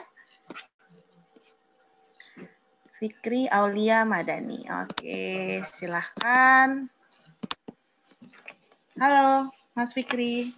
Bisa perkenalkan diri dan dari mana asalnya? Sebentar ya. Saya minta unmute. Silakan di-unmute. Ya. Oh iya maaf. Uh, ya perkenalkan teman-teman saya Fikri Alamadani dari Universitas Muhammadiyah Yogyakarta. Oke, Jogja nih. Silakan dijawab pertanyaannya, Mas Fikri. Tadi bisa diulangi dikit Pak, ada sinyalnya kurang. Oke. Jadi kalau Mas Fikri tadi ngikutin, banyak sekali quotes yang uh, membuat kita tambah semangat ya, membangun jejak digital yang baik dari kedua narasumber. Jadi tolong sebutkan dua hal yang Mas uh, ingat dari dua narasumber kita hari ini. Uh, kalau dari saya sendiri lebih prefer ke tadi Mas siapa Mas Ari Agung ya. Mm-hmm. Uh, jadi uh, jejak digital itu sangat sangatlah sensitif bagi kita uh, pribadi untuk bagaimana cara kita memanfaatkan apa namanya media sosial dengan baik. Dan bagaimana juga kita harus apa namanya waspada terhadap apa yang kita gunakan pada saat ini. Terutama media media sosial yang masih tren-tren pada era digital ini. Begitu mbak. Baik. Kalau satu lagi mungkin dari Mas Yasi dari Mas Yasi jadi ada yang diingat salah satu hal dari Mas Yasi Mas Yasin uh, seingat saya gimana ya tadi? Soalnya sinyal di sini kurang ini Mbak, jadi saya kurang terlalu begitu ini, mohon maaf. Oke, baik. Tadi udah lumayan lengkap tuh yang quotes uh, hal-hal yang dipelajari dari Mas Ari ya. Baik, terima kasih Mas Fikri buat jawabannya. Ya, sama-sama. Oke. Nanti tolong dikirimkan datanya ke um, uh, eh, DM ya, uh, chat chat ke saya melalui fitur Zoom. Ya, Oke, okay. sekarang pertanyaan yang ketiga ya. Tadi dari Mas Wildan pertama, saya kedua, yang ketiga. Saya mengundang Mas Wildan lagi ah untuk memberikan pertanyaan. Silakan Mas Wildan. Boleh, boleh, boleh. Kalau bisa masih ada. Oke, siap-siap nih ya. Kalau begitu nih, Uh, siapa yang berani angkat tangan dan bercerita kepada kita semua sebetulnya ingin membangun personal branding seperti apa gitu. Silakan, nama saya Wildan, ingin membangun personal branding saya sebagai musisi. Nah, gitu. Diceritakan aja uh, mau menjadi apa, alasannya dan bagaimana strategi-strateginya nih. Oke, sudah ada Kak Eli Safitri, luar biasa nih Kak Eli ini semangat sekali dari sesi pertama tadi ya. Boleh Kak Eli diaktifkan videonya?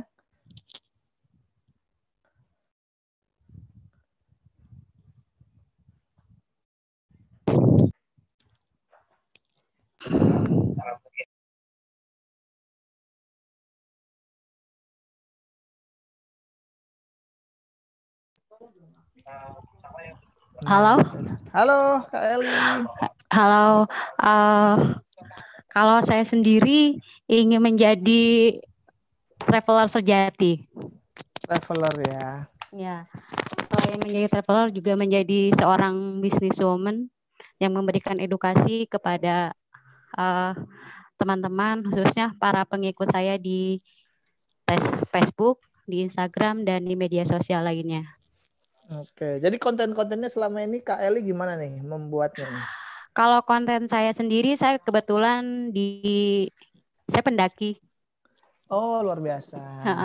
Jadi saya uh, bergerak di bidang wisata dan wisatanya ini kita lebih ke edukasi dan lebih ke konservasi dibanding hanya untuk selfie atau yang lainnya tidak. Kami hanya untuk edukasi dan menjual bukan menjual sih memberikan eh, nilai-nilai uh, kebudayaan yang ada di Indonesia. Mengangkat potensi lokal dan memberikan uh, beberapa konten-konten menarik untuk masyarakat Indonesia khususnya yang menyukai traveling. Keren banget, keren banget Kak Eli. Luar biasa. Semangat selalu ya untuk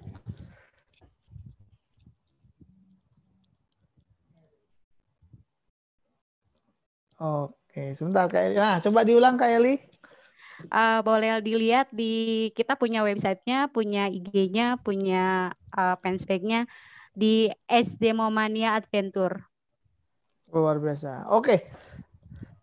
Bisa ditulis di kolom chat nih Kak Eli biar kita bisa langsung datang ke websitenya ya.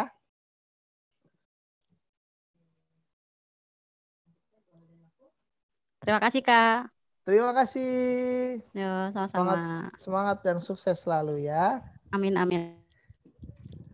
Amin. Oke, pertanyaan keempat nih dari Kak Siska. Boleh deh Kak Siska. Nanti pertanyaan terakhir kita tanya ke Pak dosen langsung nih. Ya, oke Kak Wildan, makasih. Kak dan Mas Wildan. Nah, eh, teman-teman, seperti kita tahu nih, hari ini webinar kita diprakarsai oleh Museum Penerangan bekerja sama dengan Universitas Pajajaran Bandung, Fakultas Ilmu Komunikasinya ya. Dan yang saya ingin tanyakan, di manakah Museum Penerangan berada? Gitu. Yang lengkap ya, di mana lokasinya dan kotanya. Oke, kita lihat ada yang angkat tangan. Hmm, Oke, Wisnu Trihartomo. Mohon dinyalakan videonya. Mas Wisnu dan tolong di-unmute. Silakan memperkenalkan diri dari mana dan jawabannya. Nah, nama saya Wisnu Trihartomo dari SMN 13 Jakarta. Oke. Kebetulan kan Museum Penerangan juga udah pernah nerangin ke SMN 13 Jakarta. Jadi Oke. Jadi, ya, jadi udah letak, pernah ikut virtual experience ya? Iya udah kak. Mantap. Jadi letaknya itu di Taman Mini Jak Taman Mini Indonesia Indah di Jakarta Timur kak. Siap. Oke, terima kasih Mas Wisnu. Kapan-kapan main dengan protokol kesehatan ya, karena kami buka dari jam 9 sampai jam 3, menerapkan protokol kesehatan. Oke, nanti dikirimkan alamatnya ke chat saya, ke host, segera ya. Terima kasih. Baik, Kak Wildan. Sekarang kita undang ya berarti ya, uh, Mas Ari ya. Mas Ari untuk memberikan pertanyaan nih. Mas Ari, silahkan. Kita punya satu hadiah lagi. Kita coba. Oke, ya. kita cek. Nah. Pertanyaannya apa ini enaknya ya? Pak nih Pak. Yang komunikasi uh, banget gitu. Yang komunikasi banget. Uh, ini praktis saja deh ya. Ya.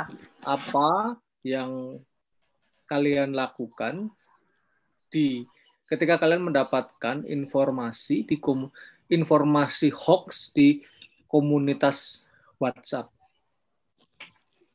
Oke. Ini ada yang cepat banget nih angkat tangannya, Pak. Ya. Silakan. Ada. Kak Tia Nurhaliza nih. Kak Tia boleh dibantu aktifkan video dan suaranya ya.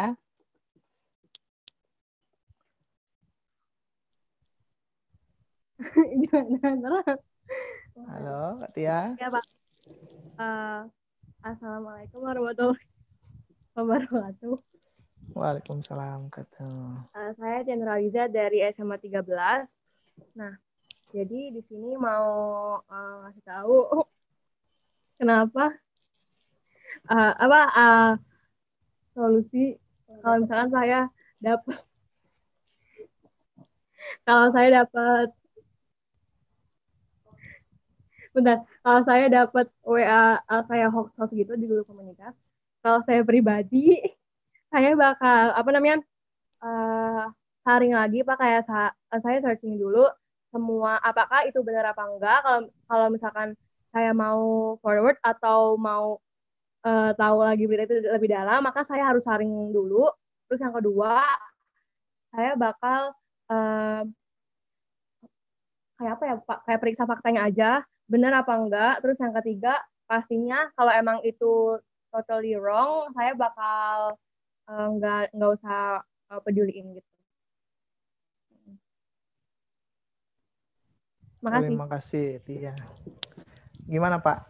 Boleh ditambahkan, Mbak Tia, jawabannya. Jadi ketika ada di sebuah uh, WhatsApp group ya, WhatsApp group ada yang menyebarkan uh, informasi hoax. Apa yang bisa Mbak Mbak Tia lakukan tadi?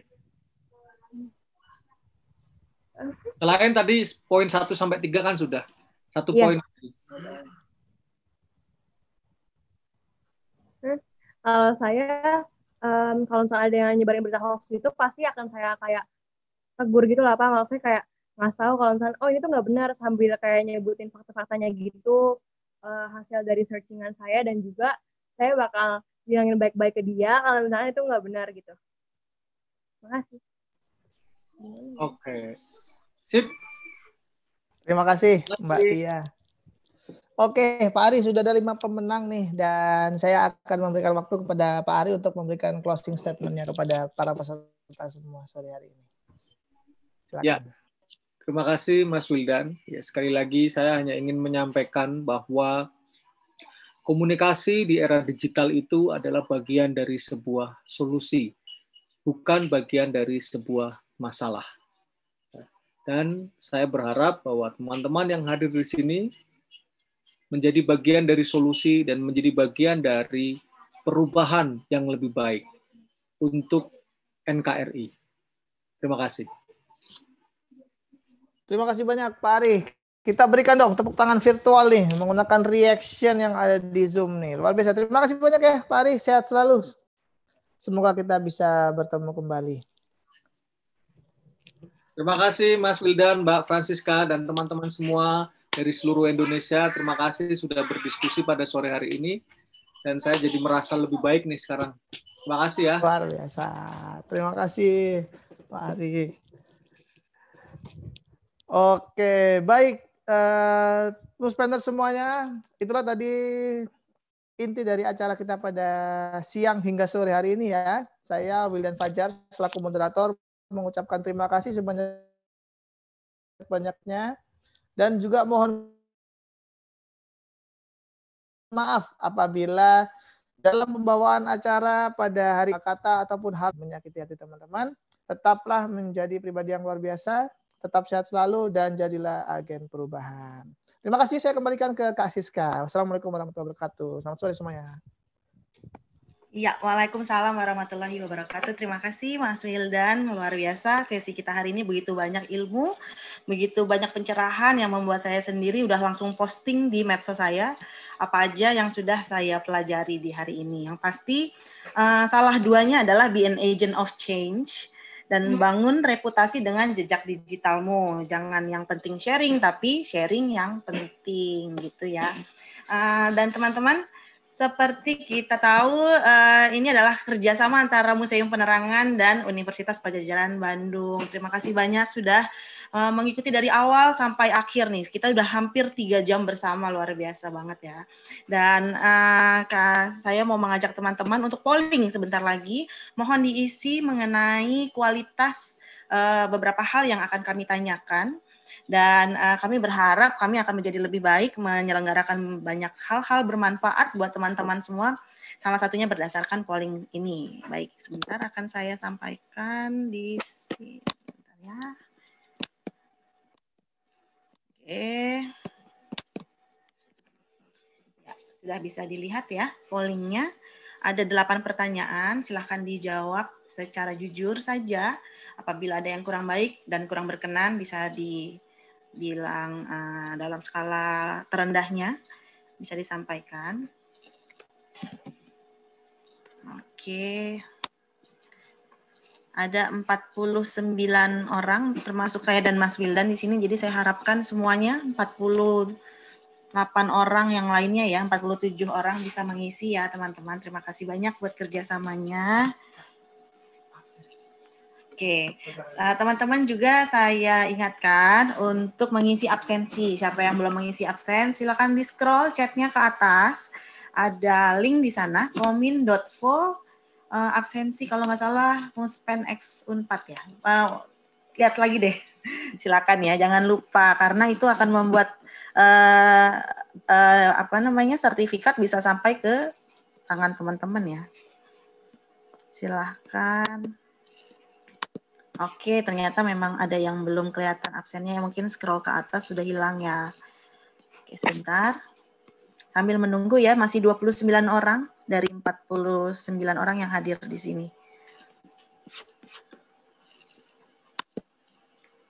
Teman-teman sambil saya uh, sampaikan informasi nih, Museum Penerangan memiliki program virtual experience. Apa itu? Yaitu jalan-jalan ke Museum Penerangan hanya melalui Zoom meeting, tapi bisa menambah pengetahuan yang pasti dan uh, refreshing ya karena kita sedang masa pandemi secara sehat gitu. Jadi uh, bisa mendaftar melalui DM ke Instagram Museum Penerangan. Ajak komunitas teman-teman minimal 30 orang supaya bisa menikmatinya bersama-sama ya. Nanti kami bisa jadwalkan dan semuanya ini gratis teman-teman. Tolong dikabarin juga ke saudaranya, sekolahnya saudaranya, kampusnya kakaknya, dan keluarga besar. Siapa tahu mau arisan sekalian jalan-jalan ke museum. Nah ini tempatnya di Museum Penerangan bisa melayani uh, kegiatan seperti itu.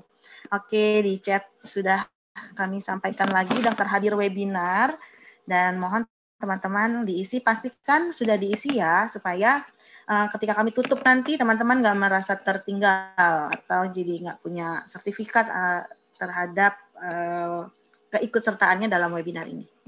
Oke sudah kurang dua orang lagi.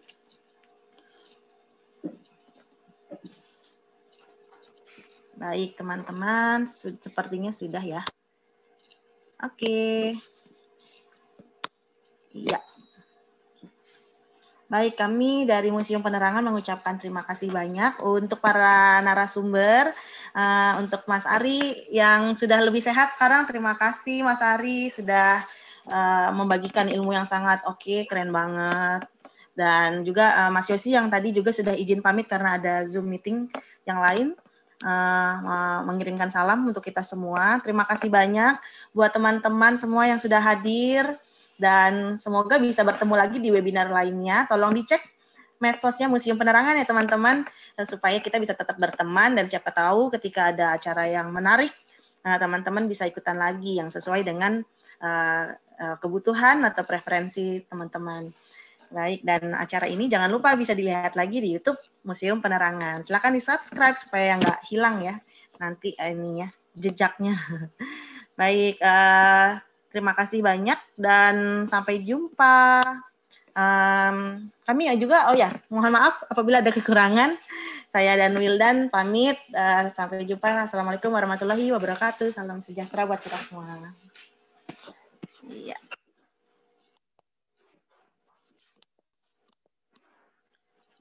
Oh,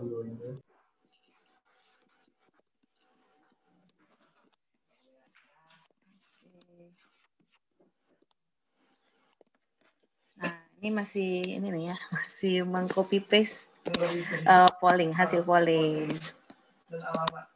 Iya, alamat. Teman-teman bisa silahkan unmute atau misalnya meninggalkan ruang Zoom, dipersilahkan ya. Kami masih ada urusan teknis nih. Oke, Kak. Terima kasih. Izin live, Kak. Ya, silakan. Terima kasih banyak. Buat teman-teman yang pemenang, uh, jangan lupa ya dikirimkan saya masih punya dua orang lagi yang belum mengirimkan tadi. Nanti saya cek lagi ya. Masih, Kak. Sampai jumpa di webinar selanjutnya. Oke. Terima kasih, Kak.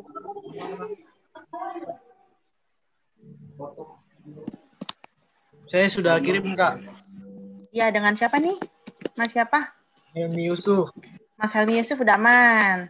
Yang belum tuh tadi Mas yang yang tadi jaringannya kurang bagus ya ketika uh, saya tanyakan quotes-nya Yosi.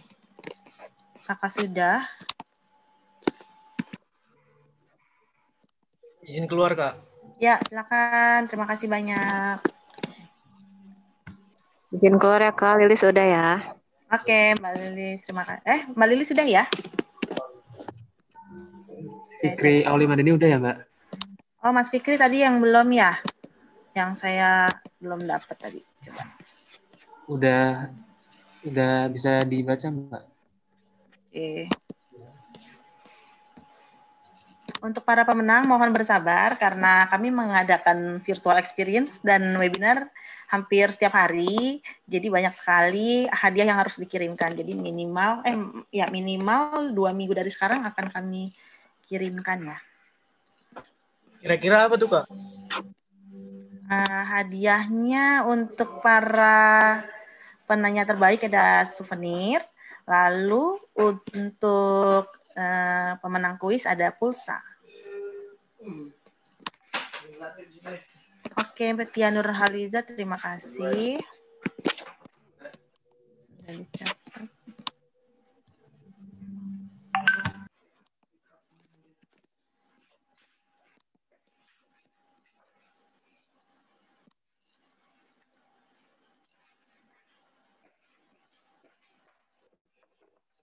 Kiai sama Pak Untung.